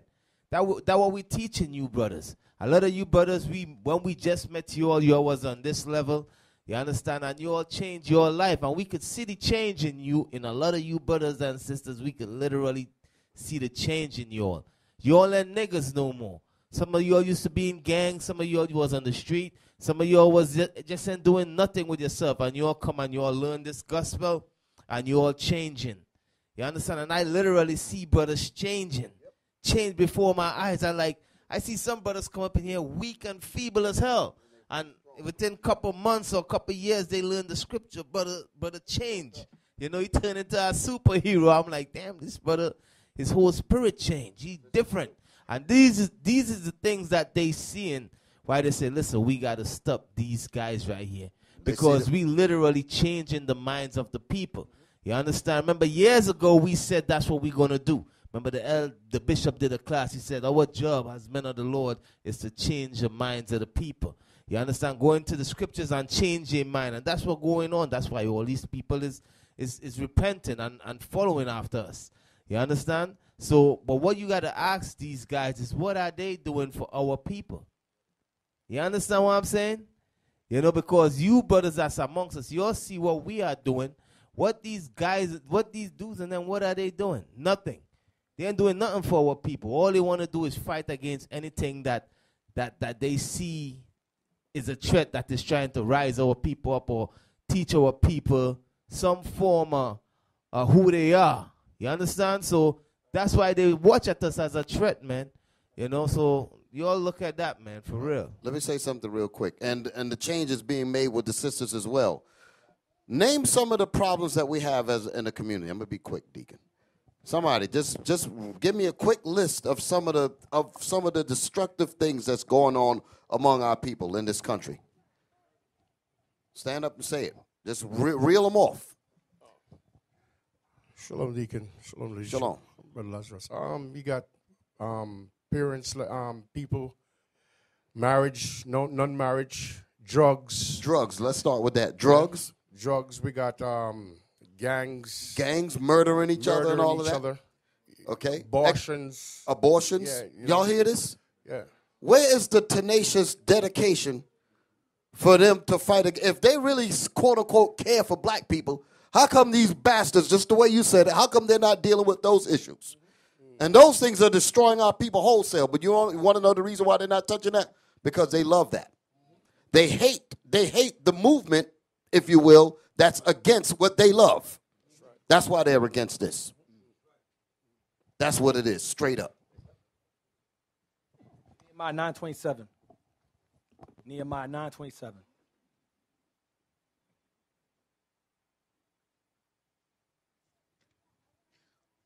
The book of Nehemiah, chapter 9 and verse 27. Therefore thou deliverest them into the hand of their enemies, Uh-huh. who vex them, and in their time of their trouble, when they cried unto thee, thou heardest them from heaven. Uh-huh. And according to thy manifold mercies, thou gavest them saviors. Gave him what? Gavest them saviors. COINTELPRO's afraid of that. Cointerpro, saviors goes back to the word judges or leaders. That's what a savior is. You men here are grooming yourselves in this truth to become potential saviors or judges of your people, as Solomon was, as David was, as Joshua was, as Caleb was, Mattathias was, um, Maccabees was. That was your job. That's your goal. And the sisters, their job is to support the saviors. That's your objective. That's your job. That's your mission. And bring forth more saviors. That's your job. That's your objective in time. To produce, mass produce an army. That's your sister's job. To mass produce. Not, I'm not saying that's your only job. I'm going to get it twisted. But in time, that is your objective. Our sisters love that, by the way. I'm- I want to prep myself. Let me, no, let me fix myself. That is your objective. Because our women, they love that. They would, they would be made fun of and kill themselves if they couldn't do that. Hey, you remember in Egypt, Deacon I turned that you remember what was Pharaoh, what, what Pharaoh was doing. Pharaoh said, "Listen, we gotta." And he, he remember he was trying to kill all the saviors. Yeah. He said, "All the male childs, we gonna kill all the male childs. Make sure any male child born, kill them. You understand? Even yeah, that's same thing they're doing today, but they're doing it through science and um and surgery. Feminizing them also. Right, right, right. gay. But the same thing they're doing today, even with um with when they sit, they say, listen, these people is multiplying too much. You know what? Any any male child born, we gonna kill them. So the same thing with same thing today, man. Right, but ain't sterilization is police brutality, one or the other. Or effeminizing, effeminizing them. Or rigged juries and jails, right. Give me first Ezra 5 and 72. The book of First Ezra, chapter 5 and verse 72. But the heathen of the land, lying heavy upon the inhabitants of Judea and holding them straight, hindered their building. The, the temple, go ahead. And by their secret plot. By their what? and by their secret plots Pro, FBI, secret plots, go ahead, and popular persuasions and popular persuasions. Oh, that word, please, persuasion definition as well. Go ahead. and commotions Popular persuasions, they're popular persuasions and commotions, rallies, go ahead, marches, go ahead. they hindered the finishing of the building all the time that King Cyrus lived. So they were hindered from building for the space of two years until the reign of Darius. So they, they hindered the building of the temple with Zerubbabel and Joshua for two years because of their secret plots and plans to stop us from building. I want the first thing I want is I want um, urban. Now we mentioned earlier about a thing, a group known as the apologetics. There's a, there's a number of them that are coming, a particular group coming against us, right? Now there's two groups. You have apologetics, then you have another part called urban apologetics. Now, let's go back to the 60s. Back in the 60s, you had you had white schools and you had colored classrooms. White water fountains, colored water fountains. Black people sit in the back of the bus, white folks sit in the front. Y'all follow what I'm saying? You're listening. Urban, in relating to or characteristic of a city or town. So the first definition for urban is city life. Town, that's what, the, that's what the word means, city or town. So I'm pretty sure most apologetics live in the city, right? Or a city, right? So we got to scratch uh, because it can't mean urban because you have a group called urban apologetics. And it just so happens that the majority of members in this urban apologetics happen to be black folks. Now, we're all one in Jesus, but somehow there's an urban apologetics and an irregular apologetics. Read the next definition of urban, please. Fancy words for, watch, next one. denoting or relating to popular dance music of black origin. So it says denoting or relating to popular dance music of black origin. So when it has a black origin, it's urban. You understand? Urban refer, relates to black. That's what it relates to. It can't be referring to dance music. Why are they called urban apologetics? Or they- white folks will say things like, oh, it's in an urban area. That's not that's referring to black communities. So you have apologetics, then you have urban apologetics, which means it's segregated. We're BHIs, but you have black apologetics. Yeah, yeah, but we're all one in Christ Jesus. Why are we all? Why aren't you all apologetics? What's the urban for? What is the? But you have more blacks in that group, so they're the urban group. Why? Aren't you all one in Christ Jesus? So I'm showing you that there's even racism and hypocrisy and segregation in their own nonsense. In their own nonsense. Right, they're the Negroes among the apologetics, right. One more time, I missed something. I missed that one. That's what I wanted. Right there, it says denoting popular black culture in general. That's what urban means. So when you have urban apologetics, it's black cultured about black. That's what it is. Black apologetics. So in white Segregation. There's white folks in it, but it's majority blacks. Right. The point is, is that they understand the, the dumb Negro. That's sitting there. He's, he's sitting there. He don't realize that his own group is segregating him. Right. His bias against him. Yep. He's in a separate graveyard. Yep. He go to Camilla. He'll be put on the nigga side. That's Yep. basically what they're saying. You can't be buried with us. Read 73 again. 73. The book of First Ezra, chapter 5, and verse 73. And by their secret plots and popular persuasions. Stop. Give me persuasion. Popular persuasions. Read the second definition. Persuasion. Uh, a belief or set of beliefs, especially religious or political ones. especially religious or political ones. Go down some more. Okay, click that. Translations. Go to right there. Go to a group, a group or sect. A group or sect holding a particular religious belief. Uh huh. Synonyms. Uh, the synonyms group, grouping, sect, denomination. Denomination. That's a persuasion. A denomination is a persuasion. Christian denominations are popular persuasions. Go ahead. party, Po- Like politics is also a persuasion. camp, side, faction, affiliation, school of thought, belief, creed, credo, faith, philosophy. which is apologetics. So now go to what I posted, what the brother um, posted. Read that. There's brother named brother named Ron Shields posted this on Facebook for brothers to be aware of. Read what it says. Peace and shalom, family. We will be at the Christian Apologist Truth Summit event today. So he's going he, he he's going to be sitting there watching. The, he's going to go there to see what they're what they're pushing. Watch. Go ahead. at Macedonia Baptist Church, 521 MLK uh, Drive, Cartersville, GA 30120. Go ahead. There are some lectures that we will be sitting in on that would be, interest you. So he's going to sit there and watch what they say. So he's going to sit there and watch them discuss this. Watch. 11 a.m. to 11:50 a.m. is Christianity, the white man's religion. Yes and no because it comes from Babylon and they adopted it. So the answer is today. Yes. Go ahead. 12:50 to 1:40 p.m. Who are the Hebrew Israelites? and Us. ho- and how should Christians respond to them? Don't. Next one. 1:40 p.m. to 2:30 p.m. Consciously unconscious. The black quote conscious community and the truth. They're all in the same category. They all they both hate the Bible, so they should be friends with them. So now, that's that's a pop right there. That's called a popular persuasion. That whole little meeting right there they're having. That's a popular persuasion to to hinder the growth of the truth. But it's not going to work. It didn't work with our forefathers then, and it's not going to work now. You're wasting your time. It's a dead effort. Futile, right?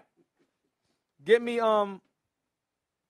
Oh my God, this is a heathen tactic. Now, IUIC Dallas did a video called uh, "Back to the Drawing Board." Scoffer, back to the, back to the drawing board, something along those lines. And there's uh, once again, same group again, came with a bullhorn. Yeah, you guys, John 3, 16, Galatians 2, you teach hate, blah, blah, blah. Disrupting the teaching of brothers in Dallas. So the brother, so okay, fine, I'm gonna deal with you. So as he's teaching, dealing with them, the brother that I was learning was getting confused. Because that was the agenda to confuse him. Uh, He said, Aren't you both using the Bible? He started getting confused. So he goes, Give me Sirach 11, verse 7. Get that real quick? So the brother in our camp goes, Give me Sirach 11, verse 7. You guys believe in the Bible, but you're doing this wrong. You're doing, you're violating this. This is what, this is what he said to the, to the, um, the, there was a Jake and the Edomite arguing back, um, together. You know, the, the, the heathen and his pet arguing together. And uh, of course, the Jake was more bold and outspoken than his master was. Master sitting there watching, of course, sitting there watching, That's watching a- his work. You know, A watchdog. right? Read that, please. The book of Sirach, chapter 11, verse 7. Blame not before thou hast examined the truth. They kept talking, talking, talking, talking while he was talking. Go ahead. Understand first and then rebuke. Uh huh. Next part. Answer not that answer not before thou hast heard the cause. Uh-huh. Neither interrupt men in the midst of their talk. So he goes, well, the Apocrypha is not canon. So that, that means nothing to me. That, that's not part of the Bible. That's not, that's Catholics use that. That's not canon.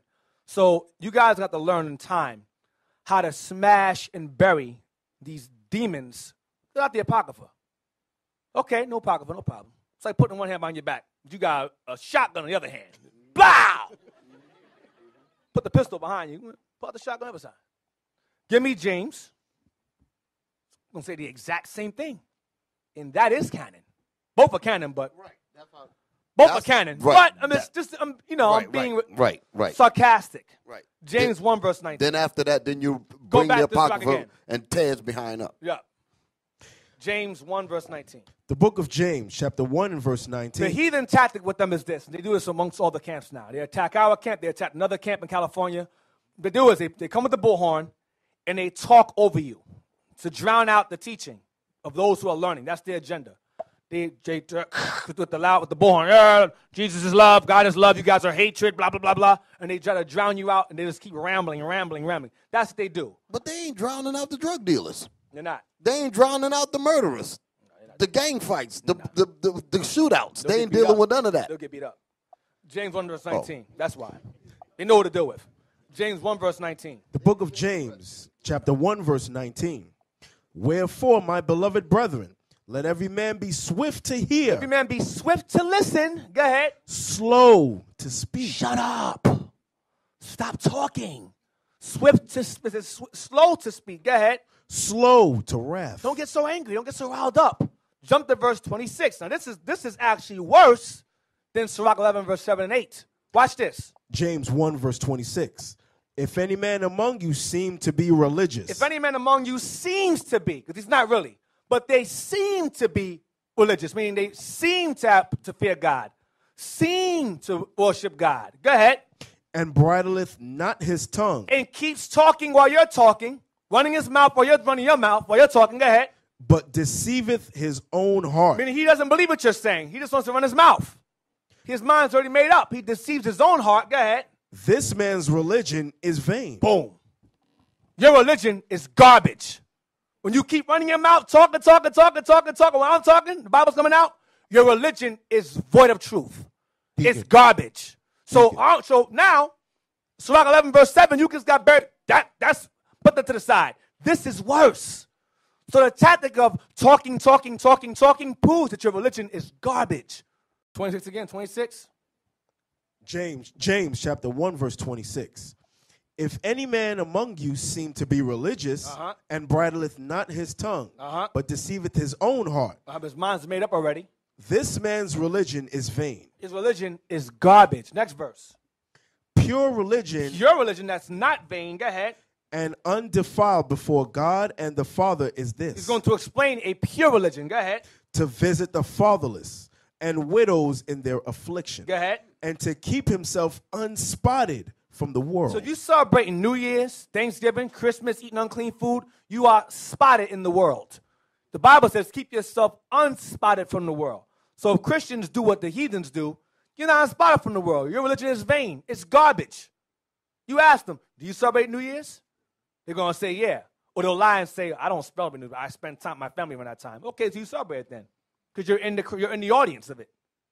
You either, with, you either do or don't. So you are they are Christianity keeps you spotted in the world, not unspotted. So verse 26 buries the whole thing of using the bullhorn and talking and talking and talking and trying to interrupt things. It says their religion is vain. And it says be slow to speak back in verse 19. Meaning listen and be slow to speak. if you're dealing with Esau and you're trying to if you're trying to correct him with the Bible, it's us. That's a futile attempt. Period. Yeah. It's just it's. There's no need to even trying.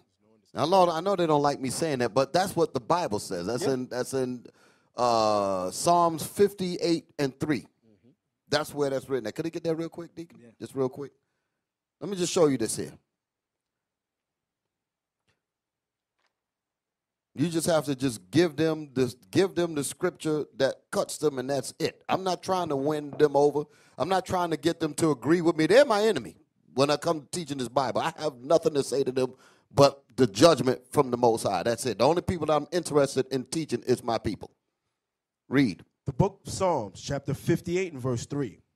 The wicked are estranged from the womb. They're born Satan. Go ahead.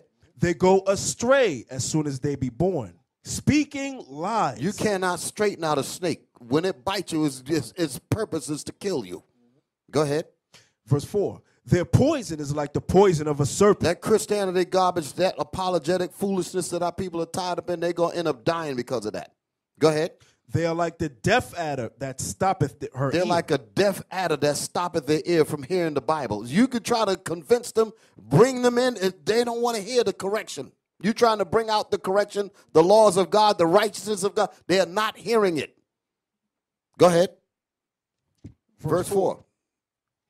Continue. Their poison is like the poison of a serpent. Read, They are like the deaf adder that stoppeth her ear, read. which will not hearken That's the part I wanted there. Which will not what? which will not hearken to the voice of charmers. These snakes will not hearken to the voice of charmers. The voice of charmers is talking about the Bible. You cannot charm these snakes. That's what it's saying. You cannot take the laws of God and charm them. That's what you don't understand. You and your Christian stupidity. You're going to end up dying. All right, Deacon, that's it. Because again, when you're dealing with your people and teaching the audience, Edom will wait until you have an audience, so your people, to try to debunk you and say that's not canon. So you have to use scriptures that your people know. Listen, that this this this is canon. Here's a piece of supporting it. You gotta do it because what they'll do is they'll go, well, that's not canon. Then Jake start getting all confused. So you gotta learn how to use verses where if they come with that, come at that angle with you, you can use others. You have to have a contingency always. You have to have something behind always to, to back you up. Y'all understand what I'm saying? Can't just use one. John 10, verse 22.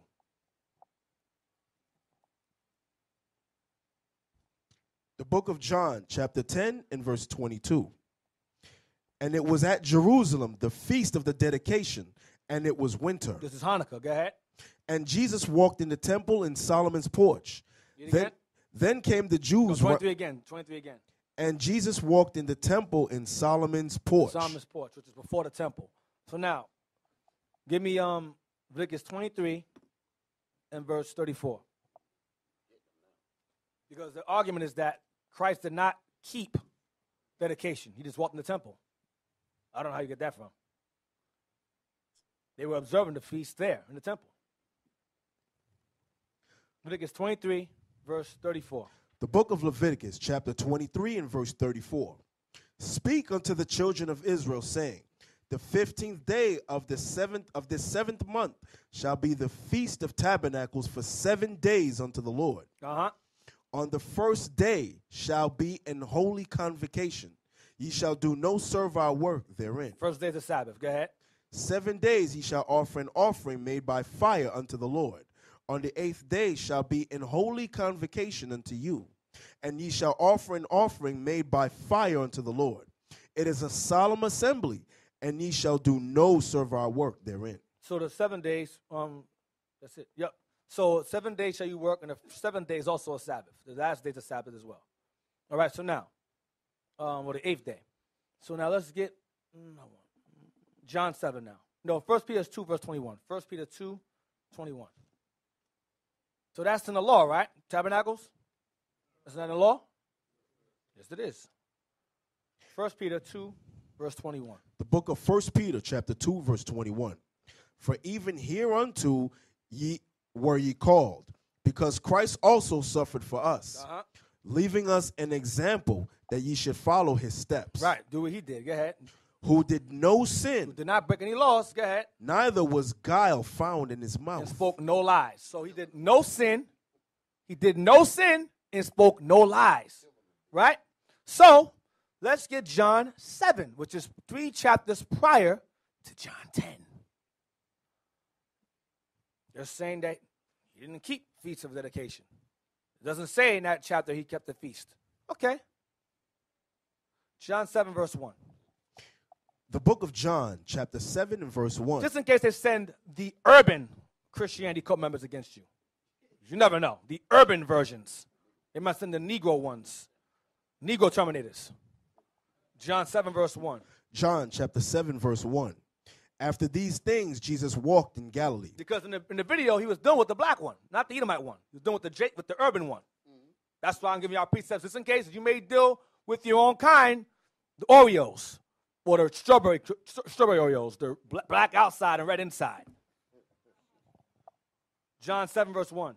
John 7, verse 1.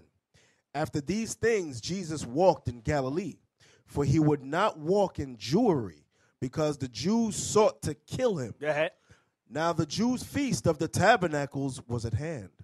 His brethren therefore said unto him, Depart hence, and go into Judea, that thy disciples also may see the works that thou doest. His family was saying, his brothers were saying, don't you go up to the feast and do some miracles over there? Go ahead. For there is no man that doeth anything in secret, What you hiding for? Go ahead. and he and he himself seeketh to be known openly. Read verse 4 again like this verse. For there is no man that doeth anything in secret, Go ahead. and he himself seeketh to be known openly. So you got a dude that's on YouTube that's blasting us, correcting us, and they don't show their face. That's cowardice. You want to be known openly, but you hide yourself. You're not. You're not truthful. You're coming falsely. You're a coward, and you're and, and you're a waste of time. Read verse four again. deacon. Yeah. And it's evil because the scriptures say, Thine eyes shall see thy teachers. Yep. That's according to prophecy. That YouTube hiding your face, there's an agenda behind it. Yep. Right. Read on. John 7 and 4. For there is no man that doeth anything in secret, and he himself seeketh to be known openly. If thou do these things, show thyself to the world. If you real, share, his, his family's testing him. If you real, show yourself to the world. What you hiding for? His brothers, watch. We don't going to tell you why, why it says to him. Go ahead.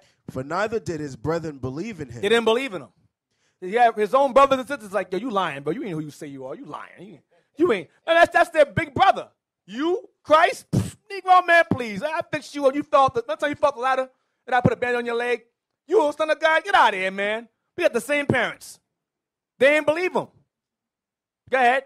One eventually does, but they didn't believe him. Go ahead. It was James. Go ahead. Then Jesus said unto them, My time is not yet come, It's not my time yet. Go ahead. but your time is always ready. You can always go and teach.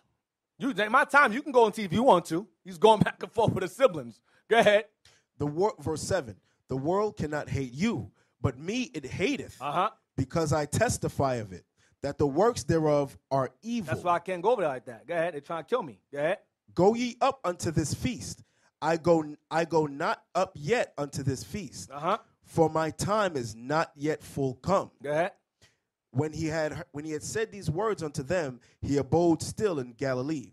But when his brethren were gone up, then went he also up unto the feast, You want not, there to the feast. Go ahead. not openly, But secretly, go ahead. But as it were in secret. Like he said he was. They were trying to kill him. Go ahead.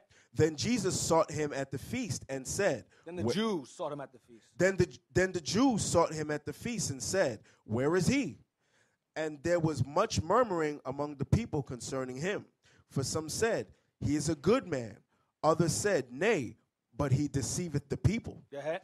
Howbeit no man spake openly of him for fear of the Jews. Fear of the elders that wanted to kill him. Go ahead. Now about the midst of the feast, Jesus went up into the temple and taught. Stop. So, the, so Christ, the point is, is that he was present at the feast. It doesn't say he was observing it, it says he was present there. Now, watch this. Give me Exodus 34 18. So, when you're present at the feast, what are you doing? You're observing it. That's what the law told you to do. Tells you to be there. So, when Hanukkah took place and he went into the temple, where was everybody else? In the temple observing the feast. Exodus 34, verse 18. The book of Exodus, chapter 34, verse 18. The feast of unleavened bread shalt thou keep. Seven days thou shalt eat unleavened bread, as I commanded thee, in the time of the month Abib. For in the month Abib thou camest out of e- out from Egypt. That's Passover. 22, Verse 22. And thou shalt observe the feast of weeks Pentecost. of the first fruits of wheat harvest, and the feast of in of ingathering at the year's end. Tabernacles. Go ahead. Thrice in the year shall Passover, Pentecost, and, and um, Tabernacles. Go ahead. Thrice in the year shall all your men children appear before the Lord God. The They should do what? No, they should do what? shall all men children appear before the Lord God, the God of Israel. So all men, children, or everyone, including their households, were to all appear in the area in which the Lord says to appear to to observe the feast. Was the Messiah present during Hanukkah? Was he present during Tabernacles? Yes. So he was keeping the feast. Stop listening to demons. They're demons. Let's go to now Esther 9:27. The- It was said that Hanukkah is not of the is not of God, is of man. Okay. Okay. Esther 9:27. The book The book of Esther, chapter 9 and verse 27. The Jews ordained and took upon them, and upon their seed, and upon all such as joined themselves unto them, so as it should not fail, that they would keep these two days according to their writing, and according to their appointed time every year, Uh, every year, go ahead. and that these days should be remembered and kept throughout every generation. Forever. Are we still are we still generating right now? Okay, go ahead. every family, every province, and every city, and that these days of Purim should not fail from among the Jews, nor the memorial of them perish from their seed. So Purim is a feast day. Is it a manners of God? It's of God. It's in the Bible. So I don't understand what these guys are talking about. These Christians, I'm telling you, they do not believe in the Bible. They don't believe what it says. Their whole objective is to hinder you from believing it. Their job is to teach you to become unbelievers. That's their objective. To turn believers into unbelievers. That's their agenda entirely. And do what thou wilt. Satan's law. Hey, let me say one more thing. Yeah. I had a person challenged me at work about the Hanukkah because I told him I don't I don't deal with that. I don't deal with Christmas. I deal with Hanukkah. he said the same thing. He said, Where did you get that from? So at that moment, a Edomite comes in. I said, I got it from them. He had the yarmulke on, he had everything. I said, I got it from them. So I stopped the man because I wanted him to say he he says that it's fake that we made it up. I said, so you telling me all these people that you've been seeing doing this on Eastern Parkway, it's uh, they're liars? You should have saw his face because they were comfortable telling me that I'm following it is fake. But when you stop that shiny white man with that yarmulke on his head that's singing Hava Nagila, all of a sudden it was like, whoa. The shiny white man. Okay? So that's another thing. Now, he was he, he didn't say he was speechless. You scared of massa? Scared. He was speechless. I said it's only fake because black people are doing it. So it's the same thing with those Christian apologetics. Why do you not go up to them who are ruling in the Middle East and controlling the entire planet and tell them what you following is fake and where you got it from and why you made it up? Hey, 'Cause he you would never tell that story. Hey, Hang um, him. I want to read one scripture goes with what, what you just say right there. Because um, I want you to go to Matthew 18 and, and start at verse 18. Because who set up Purim? Who set up Purim? Purim. Mordecai set it up, right? Our forefather. Mm-hmm. That's it. Uh, all right, he set it up, right? Also, um, the dedication. Who set that up? Judah, the the the the, the Hasdians, um, the Assyrians, the Hasmoneans. you know, Judah Maccabees and those brothers. They set that up. Okay, which I, which I thought in the time uh, when Christ was walking the earth, they were the Pharisees. Okay, so these men they set up these high holidays and they say for us to keep it. Was they great men? Was the Lord dealing with these men? Okay, so read this scripture right here. The book of Matthew, chapter 18, verse 18. Verily I say unto you, whatsoever ye shall bind on earth shall be bound in heaven, and whatsoever ye shall loose on earth shall be loosed in heaven. Read on. Again I say unto you, that if two of you shall agree on earth as touching anything, So he say if two of you come together and you agree on earth touching anything, read on. that they shall ask, it shall be done for them of my Father which is in heaven. Because anything we say, you understand, the Most High, He agree with it. You understand? That's why He got it written here in the Bible. So our forefathers set up high holy days and said, listen, you'll keep this these feast days and so forth. You know, they, the scripture say whatever is bind on earth is bind in heaven. All right? So the Most High allow that. He allows that. Why? Because our forefathers, they were great men. You know? So the Most High allow that, man. All right? You can I turn? Get Black Panther, Wikipedia, Black Panther comics. Now, Black Panther comics came out around the time, around the same time in the 60s by Jack Kirby and Stan Lee. These two Edomites were the creators of Black Panther. But they didn't get Black Panther from the group. Our, our brothers, Black Panther. This, this is this predates right there. Black Panther predates. Well, his Black Panther predates the Panther Party, 1966. Black Panther is a fictional superhero. Hold on, is a what? Is a fictional superhero Emphasizing the fictional. He's fictional superhero. Go ahead. appearing in American comic books published by Marvel Comics. The character was created by writer editor Stan Lee and writer artist Jack Kirby. That's the old guy in all the movies, the old white dude, Stan Lee. Go ahead. First appearing in Fantastic Four, number 52, July uh, 1966, Uh-huh. in the Silver Age of comic books. Uh-huh. The Black Panther's real name is T'Challa, His father's name is T'Challa. T'Chaka. Go ahead. king and protector of the fictional the what? African. uh, king and protector of the fictional Fictional. Go ahead. African nation called Wakanda, Uh huh. along with possessing enhanced abilities achieved through ancient Wakandan rituals. T'Challa also relies on his proficiency in science, rigorous physical training, hand to hand combat skills, and access to wealth and advanced technology to combat his enemies. Right. T'Challa. Go ahead. Black Panther is the first superhero of African descent in mainstream American he's, the comics. fir- he's the first black comic book hero.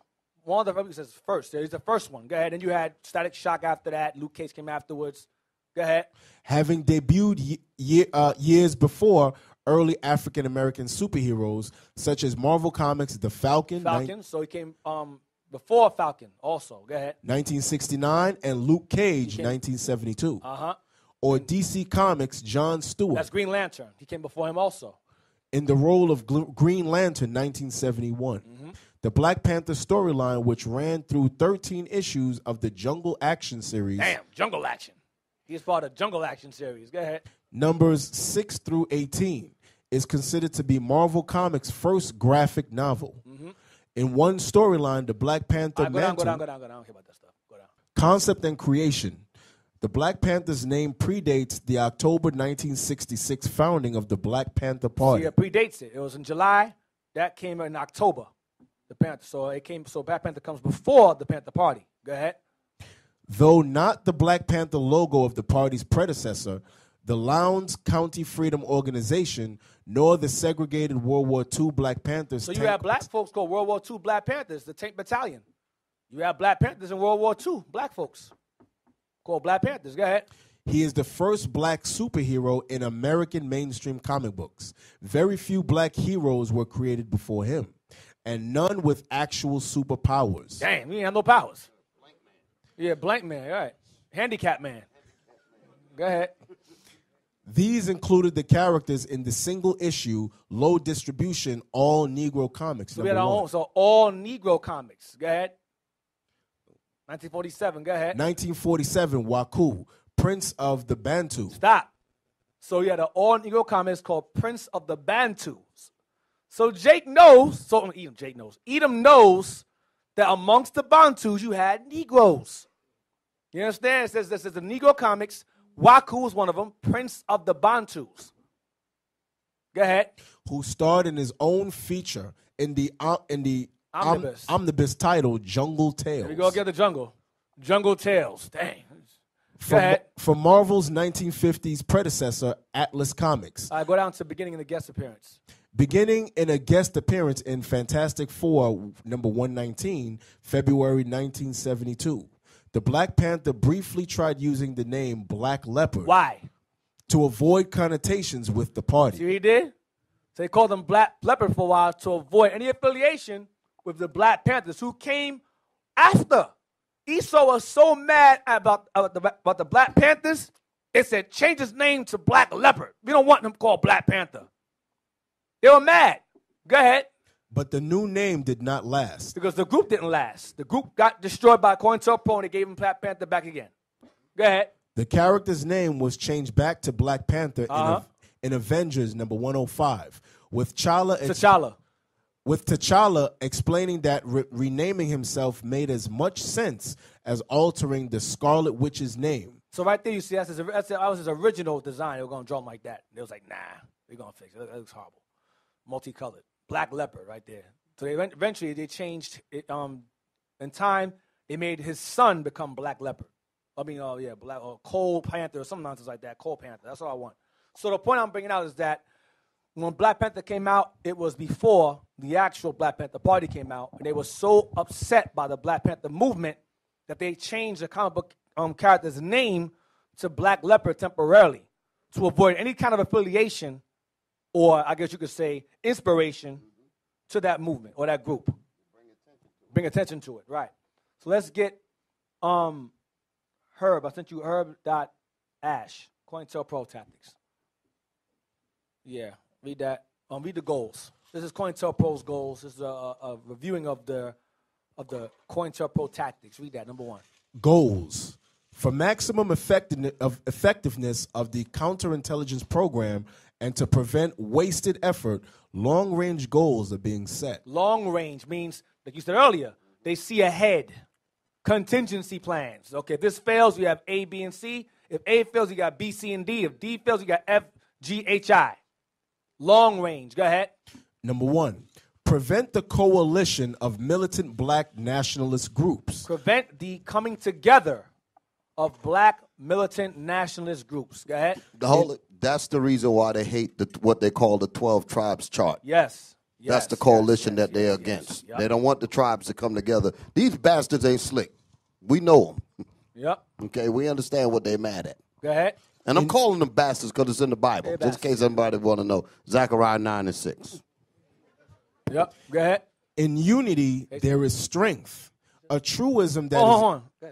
I was going to say the chart is the first sign of the nation coming together. And that's scary to look on that sign.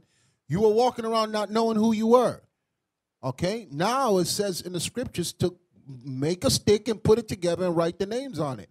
So the people who are against you that spend billions of dollars to keep your identity hidden, calling you Negro, calling you black, calling you Puerto Rican, calling you Dominican, calling you urban, or call, calling you Nubian. Now they're like, yo, what the hell is this? Look, we spent all this money to hide their identity, and they got a piece a piece of wood in the street telling the people who they are. That's the first sign of a nation waking up. And that's in the Bible. Okay. That's, the, that's the beautiful, the, the 12 tribes is in the Bible. Yep. Listen, if I was The an I'm enemy, I would be i wouldn't be able to sleep. If I walk by in the street, I spend so much time in slavery, stop you from reading, stop you from writing, beat you, took the Bible from you, and now you go in that same book I kept you from, and you put a sign up with all those names on it, and you're telling the world that this is who you are. Hell yeah, I would want that 12 tribe chart. God, Yep. that's a scary thing. That's what you're reading, number one. And great fear fell upon them. Okay. Go ahead. in unity there is strength. In what? In unity there is strength. Yep. That's what the Lord says in Psalms 133. Go ahead. A truism that is no less valid for all its triteness.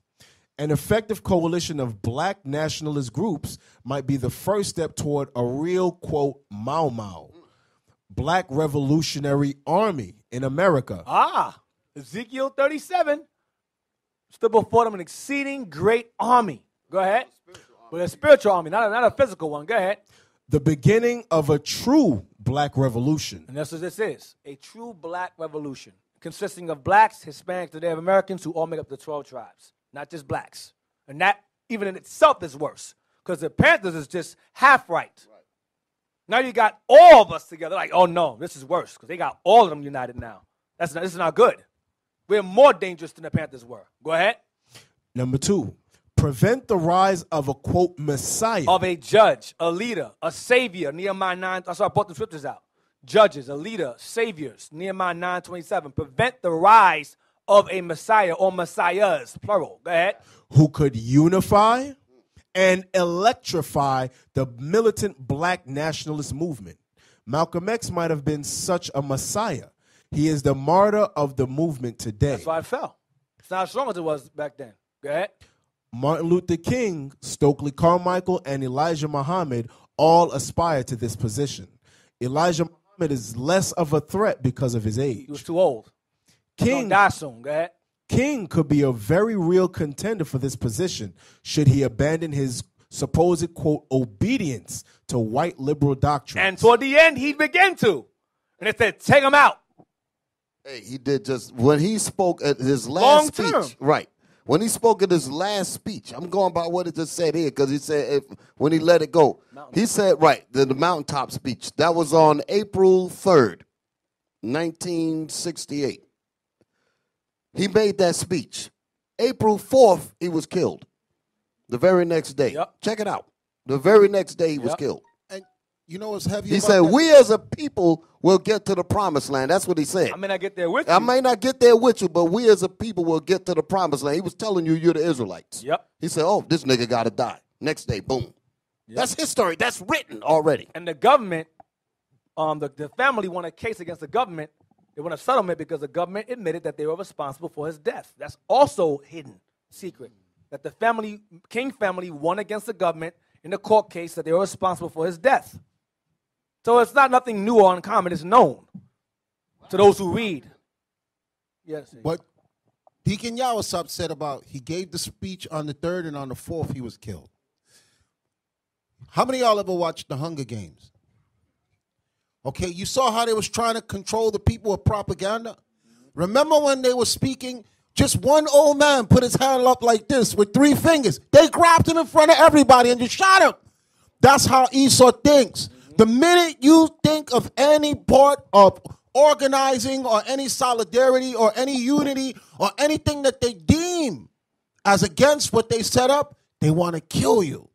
Just like when they called a girl, they was watching a girl with the camera and they call her, they said, the people may think that what you did is a, a, a threat against us. So they constantly kept letting you know, we're watching you and we'll kill you the minute we think that you're coming together in unity. It's the same thing with what you see. The purple and gold garments, the 12 tribe sign, us in order, marriage is coming. That's the order they don't want. Right. They're, they're terrified of that. And if they don't kill you um, literally, they'll kill your, your character. They'll assassinate your Assassinate- character. right. Defame you. That's what they'll do. Assassinate your character. Good, good, um, read on, read on. We're going to go a little faster. Go to Car-. Carmichael has the necessary charisma to be a real threat in this way. Ah, so Carmichael had the threat to be the next Messiah. Go ahead. Number three, prevent violence on the part of black nationalist groups. This is of primary importance and is, of course, a goal of our investigative activity. It should also be a goal of the counterintelligence program to pinpoint poten- potential troublemakers and neutralize them before they exercise their potential for violence. Next one. Number four, prevent militant black nationalist groups and leaders from gaining respectability. Now, be it again. Prevent militant black nationalist groups and leaders from gaining respectability. By, by putting up articles of them allegedly arresting young men innocent in their innocence. That's an example of discrediting them, respectability. He's in, he's, a, he's in law enforcement, he's a lawyer, he's so and so. That's a way of gaining, of trying to remove respectability from the leaders. That's what they, that's what they do. They're in this, they're in that. That's, that's the whole, that's a, a um, provocateur informant's Yes. job. That's what they do. Yes. They push, them, and there's usually one group that does that, but I'll leave it alone. But that's the, the, the what the Esau uses. They use particular of our own people to push the thought of, oh, look, he's in that line of work. See, he can't be trusted. He's in that line of work. He can't be trusted. It's the same thing as removing respectability from the people. Go ahead, read on. I was going to say it. By discrediting them to three separate segments of the community. Go ahead. The goal of discrediting black nationalists must be handled tactically in three ways. Tactically, go ahead. You must discredit those groups and individuals to first the responsible Negro community. To the upstanding blacks, the ones that are not in the downtrodden, the bottom, the upstanding ones first. Go ahead. Second, they must be discredited to the white community, Hate group. Go ahead. both the responsible community and to the quote liberals who have vestiges of sympathy for militant black and make them look bad in front of good white folk, allegedly good white folks who are liberal, who love all, care about all, rights for all. Make them look bad in front of them too, so they don't have no partners, no alliances. Cut all, cut, burn every bridge they can run to. Go ahead. simply because they are Negroes. Third, these groups must be discredited in the eyes of Negro radicals. Of their own groups. These, they must look bad in front of their own. Go ahead. the followers of the movement. This last area requires entirely different tactics from the first two. Publicity about violent tendencies and radical statements merely enhances black nationalists to the last group.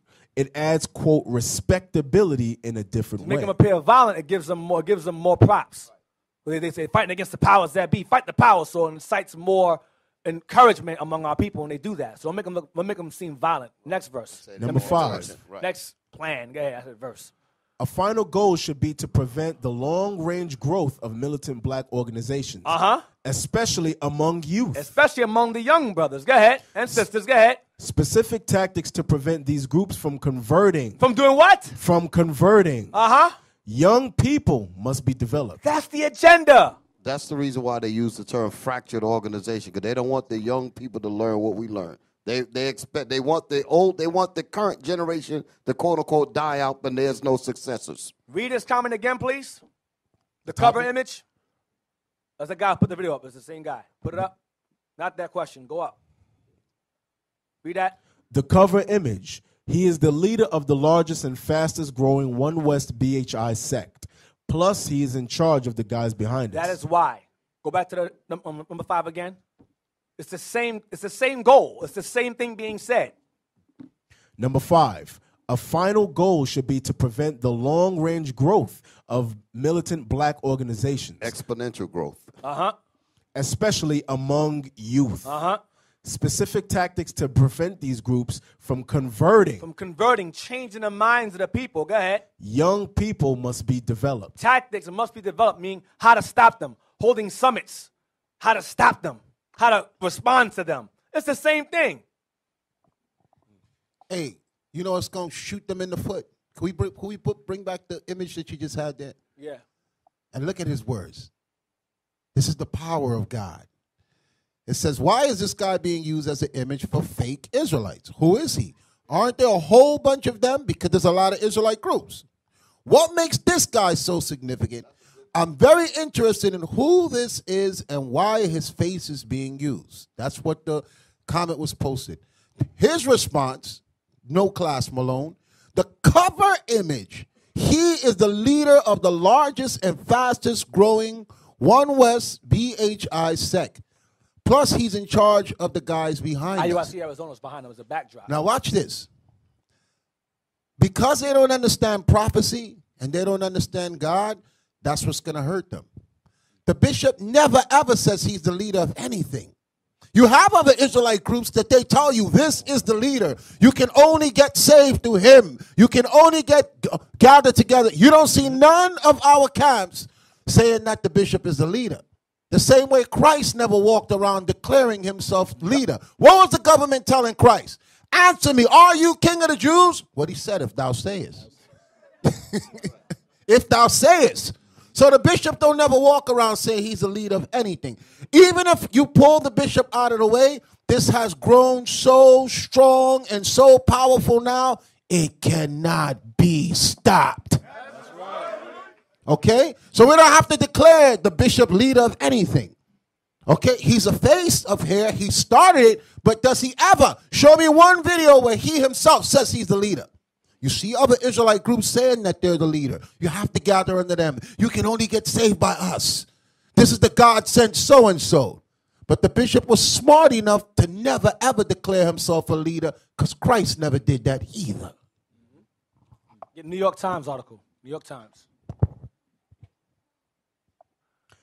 Read that November 15th.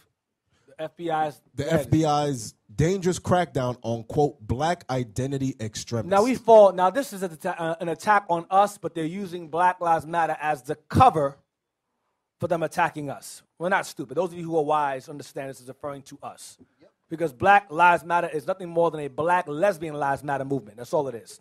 It's no difference. It's homosexual agenda all under it. It's nonsense. So go ahead. Go down to the. They can read it. They got pictures. FBI report. An FBI report leaked in October and scrutinized during an oversight hearing of the House Judiciary Committee on Tuesday warns of an emergent emergent domestic terror threat sweeping the nation and threatening the lives of law enforcement officers. The quote Black Identity Extremists BIE movement Or BHI. Same thing. this designation just recently invented by the FBI Newly invented. Go ahead. Is as frightening and dangerous as the Bureau's infamous COINTEL program of the 1960s and 70s, under which J. Edgar Hoover set out to disrupt and destroy virtually any group with the word, quote, black in its name. See that? BHIs. Same thing. I'm telling you. We don't now notice IUIC doesn't call ourselves that. We say we're Israelites. Period. We don't subscribe to black. That's redundant. But regardless, they're still putting that box. So it still falls on us as well. Go ahead. Today, entirely nonviolent black activists face violations for their civil liberties and even violence if they're deemed part of the BIE. Yeah, they're grouped, right? Deems or grouped, right? Go ahead. The 12 page report prepared by the FBI Domestic Terrorism Analysis Unit in August and later made public by foreignpolicy.org both announces the existence of the quote black identity extremist movement and deems it a violent threat asserting that black activists grievances about rationalized police violence Racialized. Racialized. racialized police violence and in, and inequities in the criminal justice system have spurred retaliatory violence against law enforcement officers. It links incidents of violence by a handful of individual citizens like Michael Johnson, who shot 11 Dallas police officers in July 2016. They're taking the actions of one man and trying to group it into a whole bunch of people. And it's just one man's actions. Right. Trying to say he was part of a group. Make something out of nothing. Right. Go ahead. To quote BIE ideology, They can't prove. Go ahead. And predicts that perceptions of unjust treatment of African Americans and the perceived unchallenged illegitimate actions of law enforcement will inspire premeditated attacks against law enforcement. Ahead. This is fiction. It's a lie. Daryl Johnson, a former Department of Homeland Security intelligence agent, when asked by Foreign Policy in October why the FBI would create the term, quote, BIE, said, I have no idea, And what? and I'm at a loss. I don't know why they did this. It doesn't make any sense. Go ahead. Michael German, a former FBI agent and fellow with the Brennan Center for Justice, Liberty, and National Security Program, said the quote, black identity extremist label simply represents an FBI effort to define a movement where none exists. Mm-hmm. Basically, it's the black people who scare them, he said. That's what it's made for. They're afraid of us. Great fear fell upon them which saw them. That's what this whole thing's about. BIE is about the fear of Edomites against blacks rising up and coming together. And it's black identity. So you seeking identity in the eyes of the so-called white man makes you a threat. Ain't that crazy? You believe you're an Israelite. Oh, you're scary. Put him in jail. Scary. I'm frightened. He wants to know who he is. I don't like that. Put him in jail, Bob. Throw away the keys, Biff. Go ahead, Brenner. Do it, Brenner. That's what they, that's what they do. It's this madness. Go ahead. Could you name an African American organization that has committed violence against police officers? Representative Karen Bass asked Attorney General Jeff Sessions at Tuesday's hearing. We watched this before. When she, uh, the sister asked the, the Edomite a question, he, gonna answer, he was talking around it. Oh, well, I'm not sure. I have to research it. I got to go back. You know how to talk. I got to go back and research it. I'm not sure. We're gathering information, but we're not gathering information. I got to figure it out, but not figure it out. You're talking contingencies, all in circles. Go ahead. Can you name one today that has targeted police officers in a violent manner? Uh huh. It's no surprise that he could not. He couldn't answer. Mr. Sessions, who confessed that he had not read the report, said he would need to, quote, confirm Uh huh. and would reply in writing at a later time. Which means I'm not going to respond. I'm just going to let it go on. Go ahead. The FBI itself admits the, in the report that even by its own definition, quote, BIE violence has, has been rare over the past 20 years. It never happened in the first place. You guys are lying, period. So now, let's get Newsweek article. The Newsweek article I sent you right after this one. The the, the uh, congresswoman White men have committed more. asked asked him to name some white ones, and he couldn't. Couldn't do it. White men have committed more mass shootings than any other group. We're going to fly through this. Go down. Go ahead. The deadliest mass shooting in U.S. history was shocking in its scale, but it wasn't a surprise that it was committed by a white male. Because only white folks do that. White folks go around, get a gun out, and shoot everybody. Black folks don't do that stuff. They usually either get high or drunk and pass out in the staircase or something. You don't go around, I'm a, I hate my life. Ah! You don't do that stuff. That's white, that's Edomite stuff. You don't do that. Go ahead. If we do, you can count on one hand if we do. Go ahead. Statistics show that since 1982, the majority of mass shootings, 54%, were committed by white men. Wow. According to the data from Mother Jones, black people were the second largest perpetrators of mass shootings based on the ethnic background, but only accounted for roughly 16% of the total incidents during the same time period. Go ahead. The average age of the shooters was 35. However, making the perpetrator in Las Vegas a 64 year old Stephen Paddock He was old. That was Vegas shooter. Go ahead. 64 years old. Old white dude. Go ahead. somewhat of an outlier. It is too early to say if mental illness played a role in Paddock's case. No, he's being himself. He's just being himself. You know they always do Doing that. Oh, something thing. was wrong with him. Yeah, he, yeah, He was he was he was depressed. He was doesn't know he was a natural we do born something killer. wrong with thugs, with monsters, do a background check, put our face on the screen. They do something wrong. Oh, he's broken. Oh, he's ill. He had the flu. So he had to get a gun to fix the flu, he felt. He had a sore throat, so he stabbed the guy in the throat. Go ahead. But it has in a number of mass shootings, though it, it is perhaps too frequently pointed to as the primary cause. It's always used as the primary cause. There's always something wrong with them. No, they're being themselves. Go ahead. Keep up with this story. No, no, other research. Other research suggests white men commit mass shootings out of a sense of entitlement. But they feel they can. I'm Edom. I'll do what I want to do. I run the world. It's my world. Kill who I want. Do what I want. And they get defended each time. They get defended. He's sick. He's ill. It's always an excuse for them. Go ahead. James Holmes, for example, had failed out of his PhD program when he opened fire in a movie theater in Aurora, Y'all remember that? That was a Batman movie. Batman, he shot it up because he failed the PhD program. I'm so mad I failed the test. Oh, man, get my rifle. I got an F. F y'all too. Edomites is crazy, man. We don't do that stuff. Go ahead. Dylann Roof was unemployed when he gunned down nine people at the end of a prayer service in a Charleston, South Carolina church. Go ahead. That's nonsense. He, he just hated us. Go ahead. There's a feeling of entitlement that when white Yeah, men, he can, he can afford bullets. Can afford bullets, though. Go ahead. there's a feeling of entitlement that white men have that black men don't. Criminologist James Alan Fox told the Washington Post in 2012. They often complain that their job was taken by blacks or Mexicans or Jews. They blame us for losing their jobs.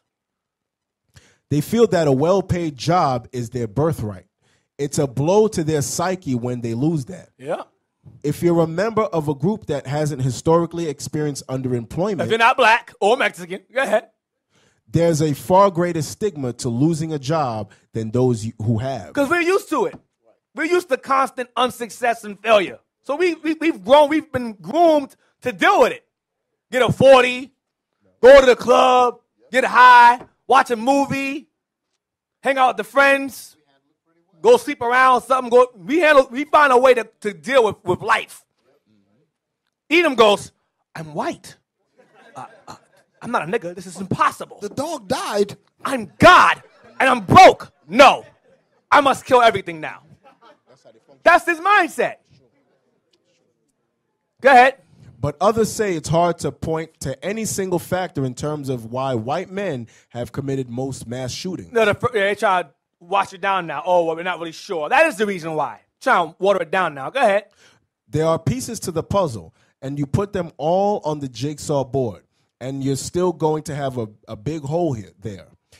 What I do is that violent What I do know is that what I do know is that violent behavior, whether it's serious violence or minor violence in populations, is never just one thing. It's not a one thing problem. It's going to be an accumulation of things, kind of a whole cocktail of factors. Jump down a high number. Jump down. I ain't got much time. Jump down a high number. High number. The high white- number of white men committing mass shootings is also explained, at least in part by the fact that the fact white people make up a majority of the US population, Lie. 63%, and men are more likely to commit violent crime in general. In the US, 98% of mass shootings and 90% of all murders are committed by men. All right. So now get the next one. I want um, RT News, Florida school shooter. This guy.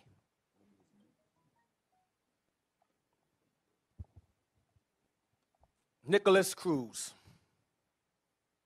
19 year old. Let's see what he did. Police say Florida school shooter confessed. Give details of how he almost got away. Watch this. Go ahead. Watch what he does. The suspect in the Parkland, Florida high school shooting claimed that claimed 17 lives has confessed to the attack. Police have released details of his movements before Whoa, whoa, he was captured. confessed. Like he did it in secret. Confess to what? He shot everybody openly. What's there to confess to? Everyone sees him shooting them. What are you confessing to?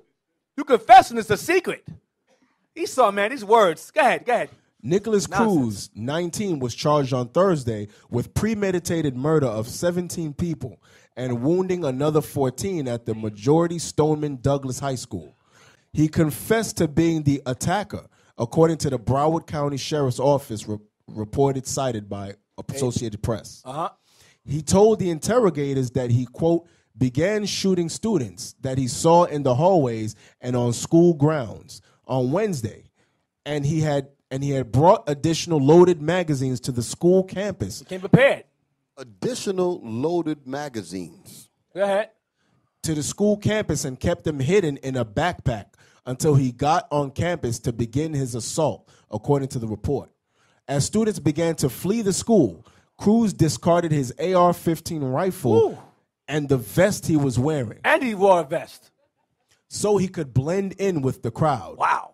After successfully Hold on, hold oh, on, he hold on. sounds pretty smart to me so You far. You gotta ask yourself the question: How in the world could this white boy go and buy a, a vest, and they allow him to buy that thing with an AR-14, with an AR-15? White privilege. Yeah. Well, He got from his family members. Hold on. Go ahead. as the student as students began to flee the school. No, no, no. After successfully. After successfully Af- leaving. After successfully leaving the school grounds, Watch this.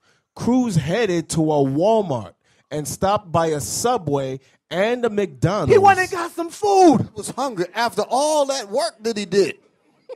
He had the Had the island killed 17 people. Damn, I'm hungry. Mm, mm, mm, mm. Want me a Big Mac. Mm. Go ahead.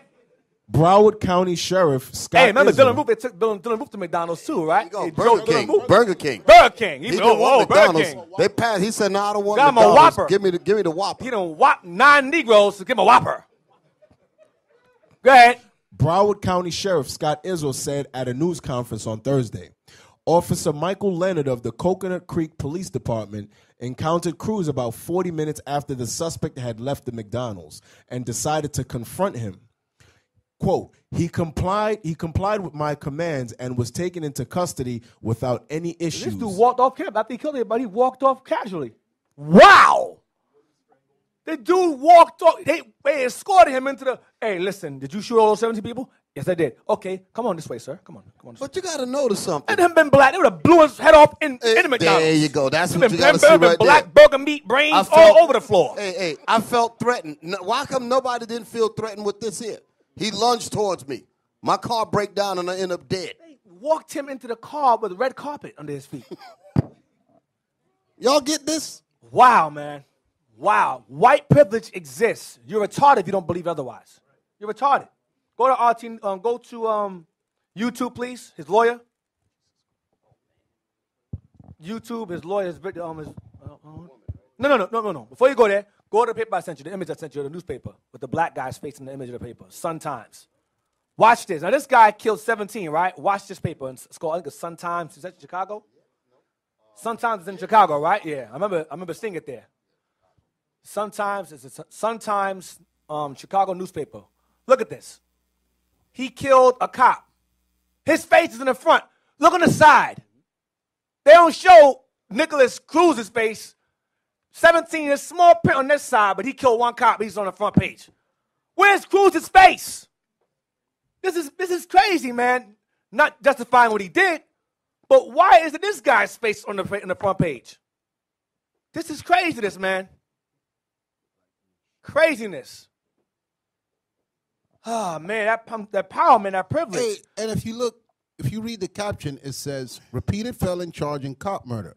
Suspect dodged officers before fatally shooting. That's what I was about He to was ask. running away. What was the, that's what I was about to ask. What's he the, was just trying to get away. Thank you, Deacon. You saw when I was because I was. You I understand? said, There's got to be more to this here, but they're not going to tell you that. They're going to make Right. you think he's a maniac. He's a he's a this. He's a that. Yes, Okay. just like you said, Deacon. He was trying to run away, you know, and we know that cops have a propensity for shooting out Right. black folk. That's what I wanted to look at. I wanted Okay. to look into that.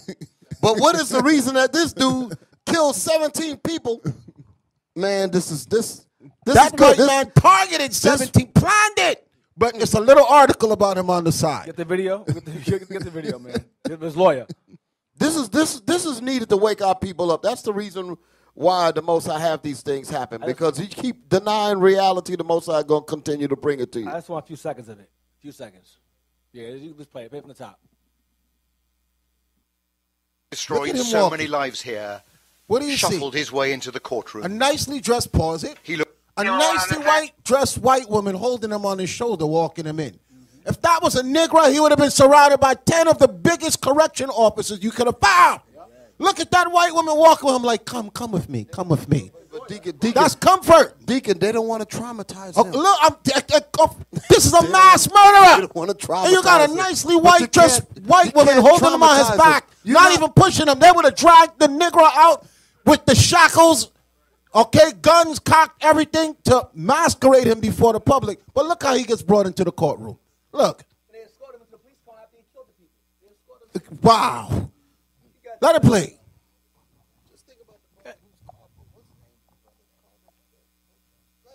Go ahead, go ahead. Video from inside the high school captures the terror of pupils. A policeman carrying a survivor to safety. Amid this Valentine's Day massacre. Other pupils were hiding under desks and in cupboards. Some teachers defending students with their bodies and with their very lives. The shooting itself was filmed on a phone. Too distressing to show in full. The opening gunshots are shockingly loud. And this footage shows the moment a heavily armed SWAT team entered a classroom to reach terrified students. Hands, hands, put your hands up. Hands, hands, please, please. Put your phones away. Put your phones away. Does anybody have bolt cutters? I can get this kid out of the fence. Police radio communications reveal the urgency and the confusion that surrounded their entry into the school. Gary, does he know where the shooter is? We don't know, but we're, we're entering the building, in front of the 13 building, building 13. One student followed a teacher's suggestion and used a textbook as a shield.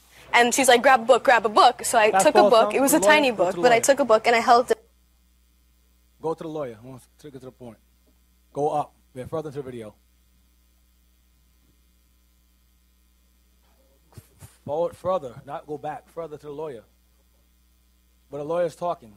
I'm defending him. Uh, go back, go back. Go back, go back, go back, go back. She talks about, she mentions him. Okay, go toward the end. It's not in the end. She comes to defense, not the one. It's a video where she comes to his defense. It's a video when she speaks on his behalf. And she's, it's in the beginning. Go, go to the beginning. That right there? I don't know if it's that. Pulled his way into the courtroom. He looked sullen as he faced the judge. Mr. Are you Nikolas Jacob Cruz? Yes, ma'am. Okay, sir. You are charged with 17 counts of premeditated murder. I have something very important to tell you. You're charged with some very serious crimes. His defense lawyer insists that Cruz has profound regrets. He's Here we go. sad. He's mournful. He's remorseful.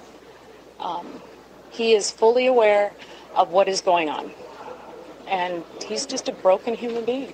Pause pause pause. One of those. You, you- do you have the footage of the family members crying in front of CNN? That basically One of those mothers should have broke forth and slapped the white off her face.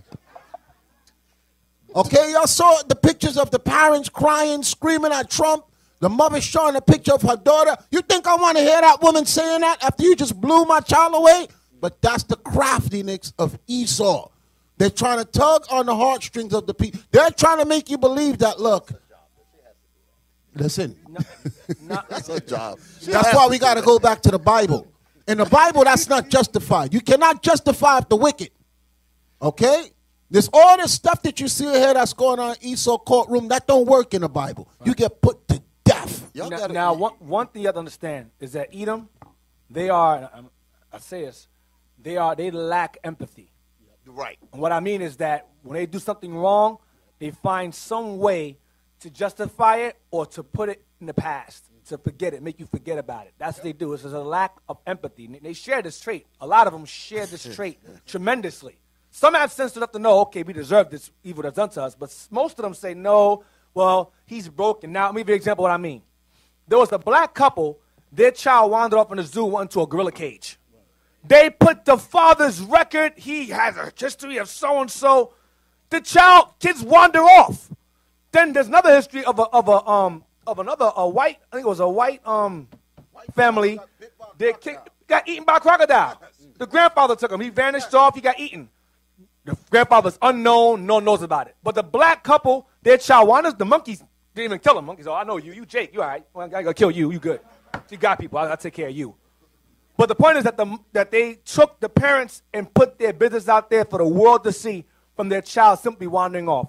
But this bastard here is broken. F this broken. The hell out of here. That's garbage. That's nonsense.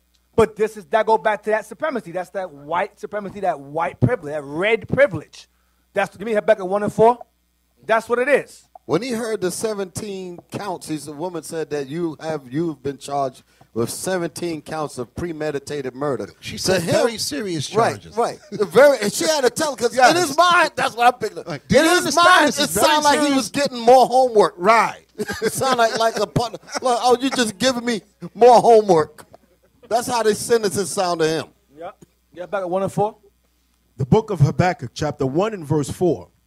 Therefore the law is slacked, and judgment doth never go forth. Uh-huh. For the wicked doth compass about the righteous. Therefore wrong judgment proceedeth. That's why if you notice uh, regarding our people, when you see them commit a crime, whatever they put, or even not not even commit a crime, they get discriminated against. They get they get harsher judgments or ridicule for a mistake for a mistake. Whereas Edom can kill 17 people, and he gets escorted into a freaking police car. We um, show a sign of any kind of attempt of of of um do you say uh, uh uncooperation. They gun us resistance. Thank you. Yes. They gun us down the street.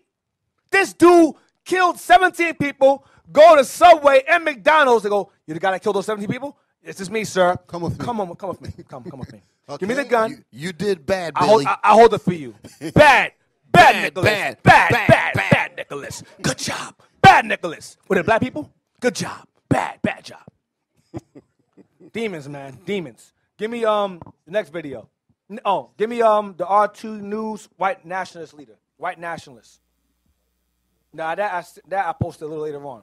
Because the white nationalist group had admitted that he was part of them, and he was following them. Then they renege on it and go, no, I made a mistake. White nationalist, read it real White nationalist leader backtracks on links to Florida shooter Nikolas Cruz. Uh-huh, go down.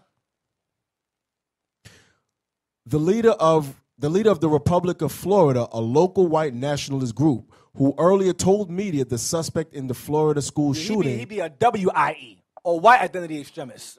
They ain't calling him that, though. Go ahead. was associated with his organization, has now backtracked on his words. So he admitted and said he was part of them. Now he's saying, no, he wasn't part of us. Go ahead. Jordan Jareb, the leader of the Republic of Florida ROF group, told AP and Anti Defamation League NGO on Thursday that 19 year old Nikolas Cruz, who has been identified as the shooter that killed 17 people and injured 14 others at the Marjory Stoneman Douglas High School in Parkland on Wednesday, had participated in ROF's paramilitary drills in Tallahassee. During the shooting, Jareb said Cruz, quote, acted on his own behalf of what he just did, and he's solely responsible for what he just did. That's his business. I mean, we ain't, we ain't telling him to do that. Go down. Hours after the story was picked up by numerous media outlets, Jareb denied the connection in an expletive laden post on Gab, a social network associated with far right groups. Alt right. Same thing. Far right, alt right, same thing. Go down. There was legit. There was a legit misunderstanding This is his response regarding um, Nikolas Cruz. Go ahead. There was a legit misunderstanding because we have multiple people named Nicholas. Come on, man. Come on. One, one Nicholas killed 17 people that day. How you confused about which Nicholas it is? These guys are liars, such liars, man. Read. There was a legitimate misunderstanding because we have multiple people named Nicholas in ROF. And I got a bunch of conflicting information, and I have not slept for like two days. Oh my gosh. Go ahead. And so when they call me up and ask me yes or no questions, it's easy for them to misrepresent what I say. He's lying. So he he reneged on what he said. That the guy was part of the group. Now all of a sudden I was tired. I didn't sleep in two days. I didn't understand the question. He's not part of our group. This, come on, man. Hey, when somebody with Israel United in Christ got in trouble, they didn't call us and ask us no questions. They went straight to Facebook. They looked for our pictures and plastered it up on the That's- news that's and on YouTube. thinking. This Yep. guy here was openly, they say he was a part of it, no picture, no nothing. And not only did the media do that, our own black Israelite brothers did the same exact thing. Right. They're doing the same thing. Anything happen with any person from IUIC, they don't care. They go straight to Facebook, and I'm talking about the top leaders of their group. They go straight to Facebook. They look for news articles, and right away, the first, not these white people, these black people who say they're Israelites, are the first ones to go to YouTube and to the media to create a campaign to destroy what we build. Those Negroes are urban apologists to say Okay, they just they're the no same different thing. from uh, vocab and the Same rest thing. of them uh, E- Europeans that's trying to attack us. Same thing. Yep. Give me the next video on Black Panther, White Nationalists at the theater. I won't go to 40 seconds. Now, this is a this is a um Jake's going to a, it's written the sheet from um Hidden Colors, goes to the theater, and when he goes to this theater, I believe, uh, explain, Cat, explain it. Mississippi, um, he, you find white nationalist groups protesting outside the Black Panther um, feature screening at the theater. 40 seconds. Go there. All right, go ahead and play it. Listen, we on our way to see Black Panther at the movie theater. They got a cop car literally right in front of the damn theater. Never here. this, this ain't, I ain't never seen this shit before. A cop car is right here, letting their presence be known up here. All right. You at a movie theater with these signs, man. You got kids out here, man. Listen. Now what these signs got to do with a movie, man? What these signs got to do with a movie, man? Huh? Y'all explain this. Oh look, let me zoom in on this one so y'all can see this one too.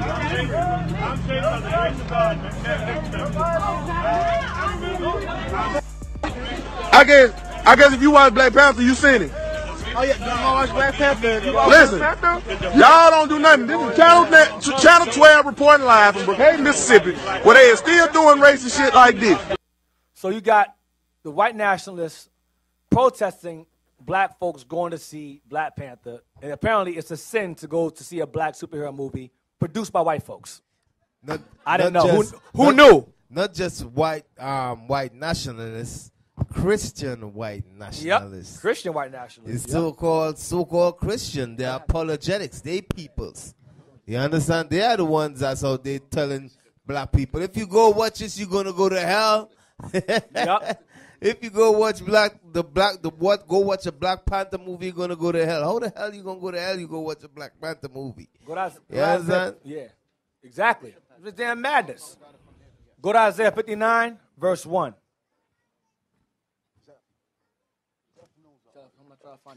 The book of Isaiah, chapter 59 and verse 1. Behold, the Lord's hand is not shortened, that it cannot save, neither his ear heavy, that it cannot hear. But your iniquities have separated between you and your God. Our sins have caused us a, a uh, rip between our God and ourselves. That's why in this condition. That's why in the condition that we're in, Isaiah 59, because we sin against our God. So the Most High has put a division between Himself and us at this time. Go ahead.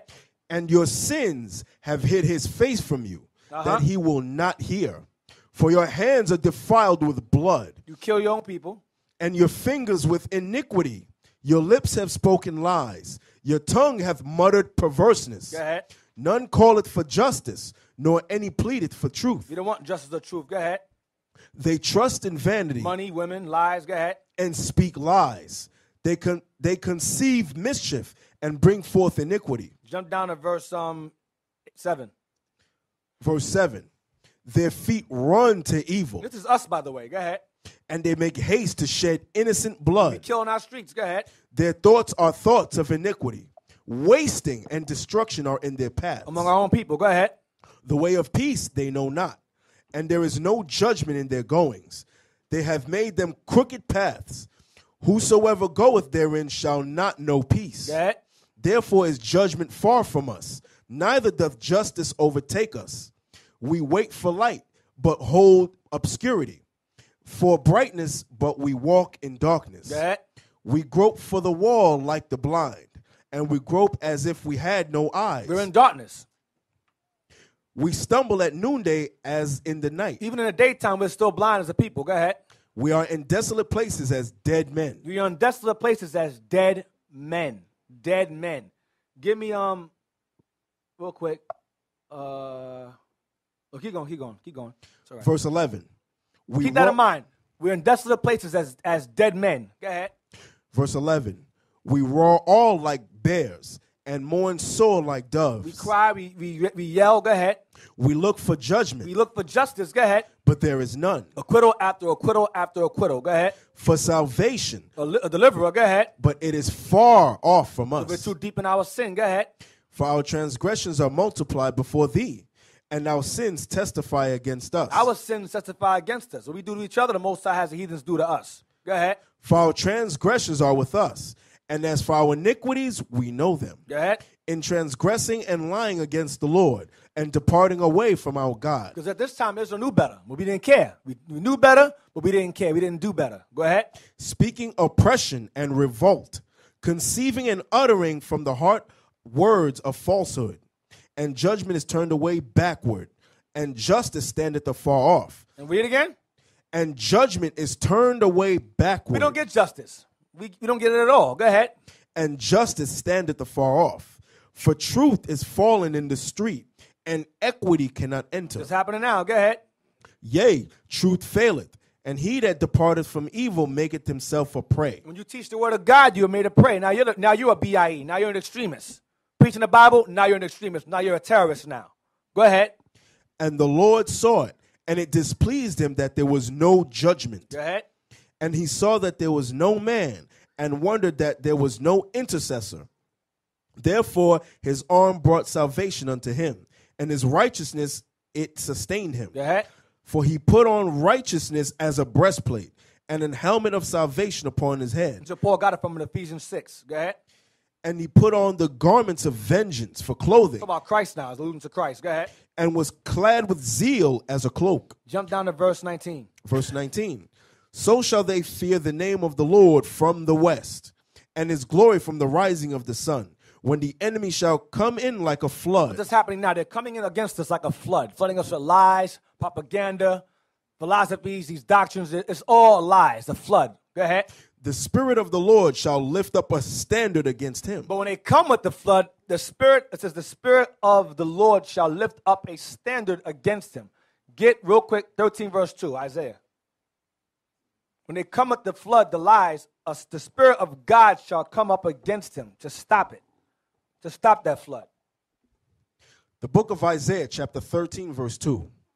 Lift ye up a banner upon the high mountain, exalt the voice unto them, shake the hand, that they may go into Shake the the hand means teach the people, means shake the hand, correct them, rebuke them. Go ahead. that they may go into the gates of the nobles. That they may run to white folks and, and label us terrorists, extremists. That's going to happen in time. Arrests, killings will happen af- after a while. and You start bringing forth this word of God. Give me um, um Psalm 60 verse 4 to see what the standard or the banner is. Psalm 60 verse 4. The book of Psalms, chapter 60 and verse 4. Thou hast given a banner to them that fear thee, You have given a banner or a standard to them that fear you. Go ahead. that it may be dis- that it may be displayed. May be because- what? That it may be That displayed it may be published, that may be spoken, displayed for all to see and hear. Go ahead. Because of the truth. Because the truth tells us to, all praises, that it may be displayed because of the truth. Get Jeremiah 51, verse 12. Jeremiah 51, verse 12. The book of Jeremiah, chapter 51 and verse 12. Set up a standard upon the walls of Babylon. That's here. Set up a standard upon the walls of Babylon, which is what? The word of God. Go ahead, display it. Go ahead. Make the watch strong. That's what we're doing in this room. We're making the watchmen strong. Go ahead. Set up the watchmen. Set up means set, means set up more teachers. Set up the watchmen that they may grow. Go ahead.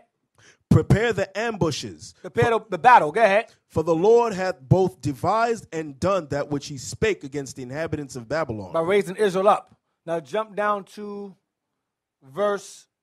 What do I want? Jump down to verse um 24. Verse 24. 25. 25. Behold, I am against thee, O destroying mountain, Still front of Babylon. Watch this. saith the Lord, which destroyeth all the earth. Which destroys the earth. Go ahead, eat them. And, and I will stretch out mine hand upon thee, Uh-huh. and roll thee down from the rocks, And bring you down from power. Go ahead. and will make thee a burnt mountain. Make you a what? Make thee a burnt mountain. Was Babylon burned? No, it was not. It was overthrown by the Persians. So is this mountain being burnt here is what? America, Babylon the Great. Next verse. I'm Gonna say it again. Verse 26. And they shall not take of thee a stone for a corner. They're not gonna rebuild it. Go ahead. nor a stone for foundations, but thou shalt be desolate forever, saith the Lord. So you know it's not referring to ancient Babylon because Babylon still stands. Iraq still stands. People still live over there. 60 verse 4. Give me um 2 Thessalonians 2 verse 7. That the Spirit of God will rise up against them, will raise a standard against them. This is what Paul said in Thessalonians as well. Second Thessalonians almost done. Second Thessalonians uh 2 verse 7. the book of Second Thessalonians, chapter 2, and verse 7. This goes in conjunction with the Spirit of God rising up against that flood in Isaiah 59 and verse um, 19. Go ahead. For the mystery of iniquity doth already work. Yeah, Edom, Babylon. Go ahead. Only he who now letteth will let until he be taken out of the way. He's referring to Rome, all right, which is referring to Edom, okay, which is New Babylon. Read verse 7 again, or America. Go ahead. For the mystery of iniquity doth already work. Meaning, meaning at this time, Edom was Rome. Go ahead. Only he who now letteth will let until he be taken out of the way. Most is going to allow him to the rule until it's time to remove him out the way. Next verse is going to say it. And then shall that wicked be revealed. That wicked is Malachi 1 and 4, the border of wickedness. That's referring to Edom. Because he was ruling at this time as Rome. But in the future, he'd be, he would rule as America, which is an extension of Rome, or Babylon the Great. Go ahead. And then shall that wicked be revealed. Then shall that wicked. So when we're preaching the word of God, we're going to reveal who the wicked is. That's what's happening now. You're in this. We're in this prophecy now. We bringing out the words of the Most High, bringing it out that they are the wicked. That's the reason why it's so much opposition to this truth. Yep. Go ahead. And then shall that wicked be revealed, whom the Lord shall consume with the spirit of his mouth. And once you reveal who the wicked is, the Lord shall, shall come back, return, and do what? And shall consume with the spirit of his mouth. That's going into spiritually and physically. He's doing it through us, bringing the word out through his mouth, and he's going to come here and do the same thing literally to the nations. You know that's how, just 13. You know how it's happening on a spiritual level through that word that we read early, pure influence. Yep. Pure that's what's that's What's what's swallowing them up. Yep. Go ahead. and shall destroy with the brightness of his coming. Go ahead. Even him whose coming is after the working of Satan, Uh huh. with all power and signs and lying wonders, All powers, his technology, his, his religions, his philosophies, his science. Go ahead. And with all deceivableness of unrighteousness With all lies of sin. Go ahead. in them that perish, in them that die. Go ahead. because they receive not the love of the truth, But loved wickedness. Go ahead. that they might be saved. Go ahead. And for this cause shall and for this cause God shall send them strong delusion that they should believe a lie, Christianity, Islam. Go ahead. that they all might be damned who believed not the truth, Uh-huh. but had pleasure in unrighteousness. have pleasure in this world. All right, so now get me real quick breitbart.com about pleasure in wickedness, pleasure in unrighteousness. Breitbart.com LGBT. Yep, that's the one. Thank you. So, pleasure in unrighteousness is what America stands for. Black Panther criticized for lack of LGBT representation. We, we can't we can't have nothing, man. We can't. They didn't complain about this in Thor. They didn't complain about this in Iron Man One. No, but because a black movie, a black cast comes out, they have to add the homosexuality in it. They had to do it. Go down. Right there. Marvel Studios' upcoming blockbuster Black Panther has been criticized for its lack of LGBT represent- Who cares? representation Who cares? Go ahead.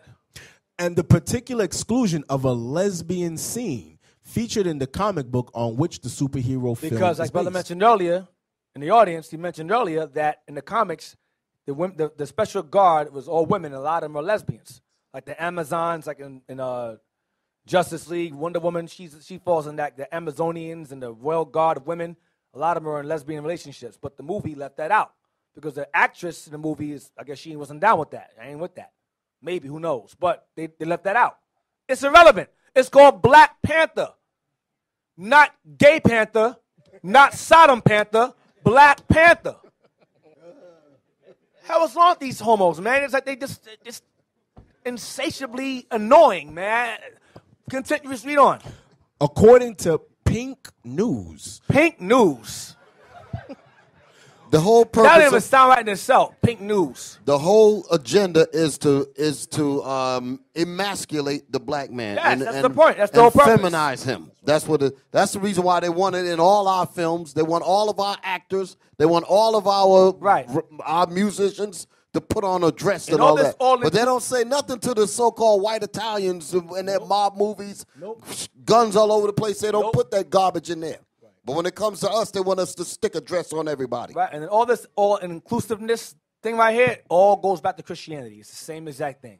All inclusive, all loving. It's all Christianity all over again. Go ahead. According to Pink News, when the film was announced, fans were excited by the prospect of Okoye and Ayo Those are the two characters. That's, that's the military. I think it was uh, Michonne playing that one and the other sister. Go ahead. two of the title characters' bodyguards, getting together as Ayo and uh, fellow female warrior Aneka do in the comics. And these hopes were encouraged by reports that an early screening of the film featured Walking Dead star Danai Gurira's Okoye starring at Ayo flirtatiously as the two danced. However, when fans of the comics watched Black Panther during early screenings, they noticed an absence of lesbian romance. So what? It's called Black Panther. Go ahead. Play. and immediately started a Twitter campaign under the hashtag Let Ayo Have a Girlfriend, using terms such as, quote, lesbian Erasure. erasure. Excellent. So we can't have nothing. We can't have nothing. That's supposed to be those two, supposed to be lovers. In the comics, they're lovers in the comics. Most of them are lovers, period, in the comics. Which is why, which is one, like I said before in the movie, if you look at the movie carefully, I'm telling you, there's certain things in there, the indirect influence in there that's not good. We're happy about Black Panther, but you have to look through the sin. There's sin up in there. And this is part, they point, and homos pointed it out. These two should be a couple. In the comics, they're a couple. But in the movie, they're not, or or it's not expressed strongly that they are. Who cares? Edom cares. Why? Revelations 11, verse 8. This is why. Revelations 11, verse 8. Oh, go to the images real quick, Facebook images, what, what Esau did as well. So, so the, the gain, they come, they come against the movie with the homosexuality, with the sodomy, or sodomitises. They come against them with this, and this also. So you have Black Panther Twitter fan, bans trolls who claim white cinema goers were being attacked at screenings. So you have Edomites basically complaining that when they went to see Black Panther, amongst the black folks, they were viciously attacked. And it's all a lie. Go down to the pictures, images real quick, the fake images. I went to see Black Panther with my girlfriend, and a black teenager shot at you at the wrong theater and smashed a bottle on her face. This is not a real. This is not real. And they have the real images. They have the fake one and the real one, how it was doctored. Did you did you find those? Okay, they have what the re, they have what the real images, and they edited that stuff because they know that people are simple and stupid. It's the same thing. My greatest fear is what the public is going to make you lie. They're going to get you to believe against us. Okay, because it was it, in the ancient times it was hard to move on the men. Like I said, they wanted to grab um, certain men, but they wouldn't do it because the people were loyal. This generation of people you see now, there's no loyalty to, to them. Your loyalty is to YouTube, to Twitter, to whatever the white man puts in your head. Back then, it was difficult for you to be able to stir up the people against the men of God. This generation of people is the worst. There's some people, even as we speak, if the media makes up a lie about us, you know, it's the first thing I knew it. I always knew it. I knew they was like that. The same people that been coming here, they're gonna be the same ones rallying against them, telling their family members, I knew it. Okay, so it's easy to take lies like that and put it up because some of y'all are that simple. if Esau will go this far to stage things like this here, you got to think about the reasoning behind this. It's all because they're- what they're telling you is that that the mind, your if if if the movie or the Bible can have any any influence on your thinking, they will go to these extremes to keep your mind from being corrected. Their their, their fear is that this movie just might put put some positive thoughts in their mind, and they will go to these extremes. That shows you how powerful. Just like the scriptures say, "As a man thinketh, so is he." If your if their, their fear is that if your mind is turned around a little bit in the positive direction, that can move mountains. And they said we will go through any extreme to make sure that you don't get that done. That's how you got to see these things. Revelations real quick, 11 verse 8. Remember Isaiah said, they shall lie in, dead, in desolate places as dead men in Isaiah 59 verse 19. Revelations 11 verse 8. The book of Revelation, chapter 11 and verse 8. You must you have to understand where we are in prophecy. Read this here. And their dead bodies shall lie in the street of the great city, Our dead bodies shall lie in the street of the great city, which is America, Babylon the Great. Go ahead. which spiritually is called Sodom and Egypt, Spiritually, it's called Sodom and Egypt. Sodom is a key word there. Sodom, because this place is spiritually Sodom. They're advocating oppression with Egypt, and they're advocating homosexuality when it comes to Sodom upon our dead bodies. But when those dead bodies start to rise up, like in Ezekiel, into an exceeding great army, that's when that great fear falls among them, and they're doing all these rallies against us, having these summits, um, putting up these videos against us. That's where the fear comes in. Propaganda, lies, Right, the slander, the, the propaganda. slander. Get Baruch 3, verse 4. We're almost done. Baruch 3, verse 4. The book of Baruch, chapter 3 and verse 4. O Lord Almighty, thou God of Israel, hear now the prayers of the dead Israelites Right, go ahead. and of their children, which have sinned before thee, and not hearkened unto the voice of thee, their God. For the which cause these plagues cleave unto us. Right, captivity. Jump down to verse 10. Verse 10 How happeneth it, Israel, that thou art waxing, that thou art in thine enemy's land, that thou art waxing old in a strange country, No longer a young lion, now we're old. Go ahead. that thou art defiled with the dead? We are defiled with the dead. We are as dead bodies in that great city, Revelations 11, verse 8, in spiritual Sodom and Egypt.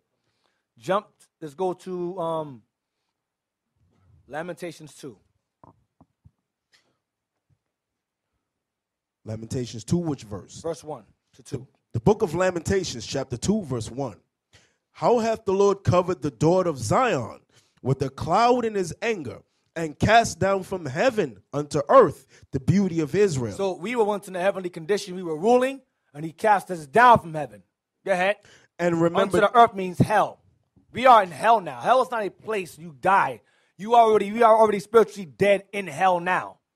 Wherever Israel's held captive, we are dead in that place, suffering.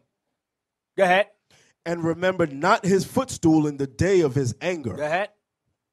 The Lord hath swallowed up all the habitations of Jacob, and hath not pitied. He hath thrown down in his wrath the strongholds of the daughter of Judah.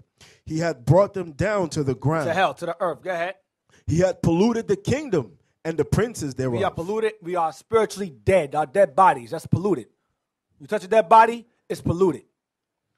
Go to Job 10, verse 21. So Most High cast us from rulership from heaven, a heavenly condition, to a hellish, enslaved condition. Job, let's see what Job prophesied regarding that place. Job 10, 21. Remember Ezekiel talked about the valley of dry bones, that graveyard, that valley. The book of Job, chapter 10, verse 21. That valley is the valley of the shadow of death in Psalms 23. That's that place. That valley of dry bones is the valley of the shadow of death. That's what it is. That's what we are now. From Psalms 23, verse 4, I believe. Go ahead. Verse 1 and down. Go ahead. Job, chapter 10, verse 21. Watch this. Before I go whence, I shall not return, even to the land of darkness. This is Job prophesying of, our, of our people's condition later on in the last days. Read again. Before I go whence I shall not return, even to the land of darkness and the shadow of death. And the valley of the shadow of death. Go ahead. a land of darkness, A land of darkness. Go ahead. as darkness itself. The land is darkness itself. The land of this place here primarily is the land of darkness itself. This is a, the gross evil is found here and spreads everywhere else. This place has the most influence among all nations. So this is the place where there's gross darkness, where Israel is found. Read again. A land of darkness, as darkness itself, Uh huh. and of the shadow of death, Watch this. without any order. Without any order. Homosexuals have rights. Blacks have, have no rights at all. Edomites are called um, autistic and disabled. Black folks are called thugs and hoodlums. They do crimes. There's no order here. The law is slack here. There's no justice and judgment here. Fair justice and judgment here. There is without any order. Go ahead. Without any order, and where the light is as darkness. And where the light is, as darkness. Meaning the good is bad. I mean, bad is considered good. Where, lo- where, evil is considered righteousness. That's where we are now. Get Matthew 16, verse 18. the book of Matthew, chapter 16, verse 18. And I Hold say. Where do dead bodies go? Graves. Another word for grave in the Bible. Hell. Hell. Hell. Another word for grave is hell in the Bible. Matthew 16, verse 18. Watch this. Now, gates represents leaders. Leadership, the areas where people have judged, they judge at the gates. So when you read the word gates here, it's referring to the leaders. Read that, Matthew 16, verse 18. the book of Matthew, chapter 16, verse 18. And I and I say also unto thee that thou art Peter, and upon this rock I will, Christ, rock, Christ, um, Christ is that rock. Go ahead.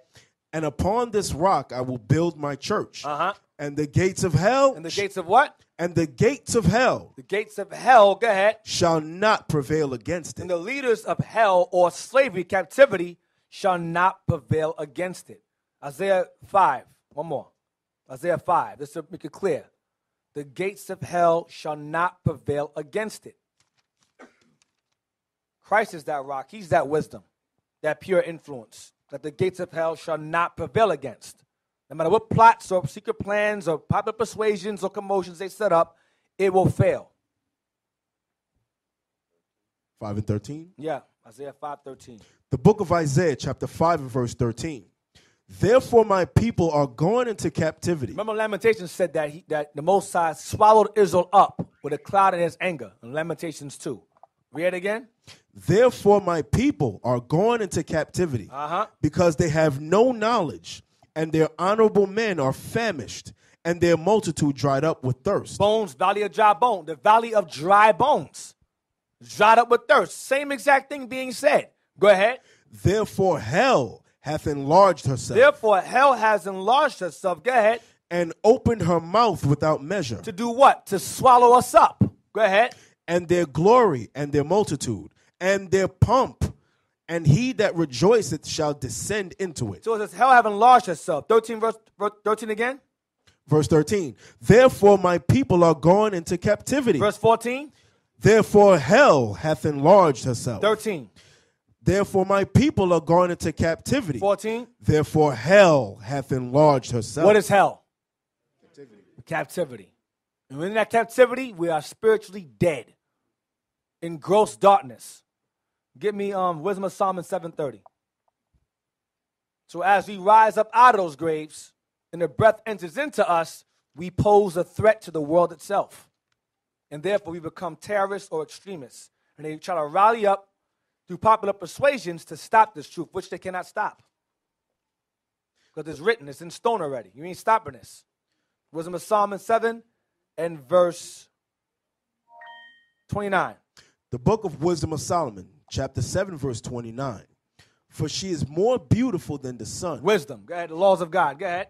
And above all the order of stars. The brightest. Go ahead. Being compared with the light, she is found before it. Brighter, brighter than light. Go ahead. For after this cometh night. After this light comes night, darkness. Go ahead. But vice shall not prevail against wisdom. But the gates of hell, hell shall not prevail against her. Vice shall not prevail against wisdom or Christ, the Spirit of Christ. it should not stop this movement at all. You understand? So with that, we'll stop it right there.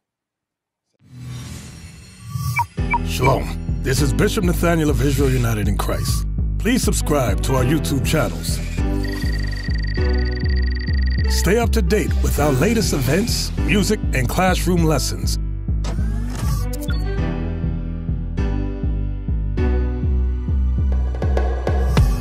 IUIC plans to continue visiting different countries where this gospel has not been preached before. IUIC needs your help in pushing this truth.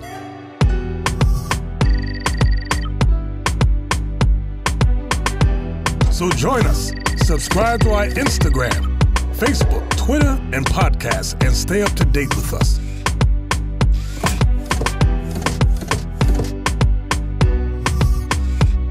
For more information, please visit www.israelunite.org.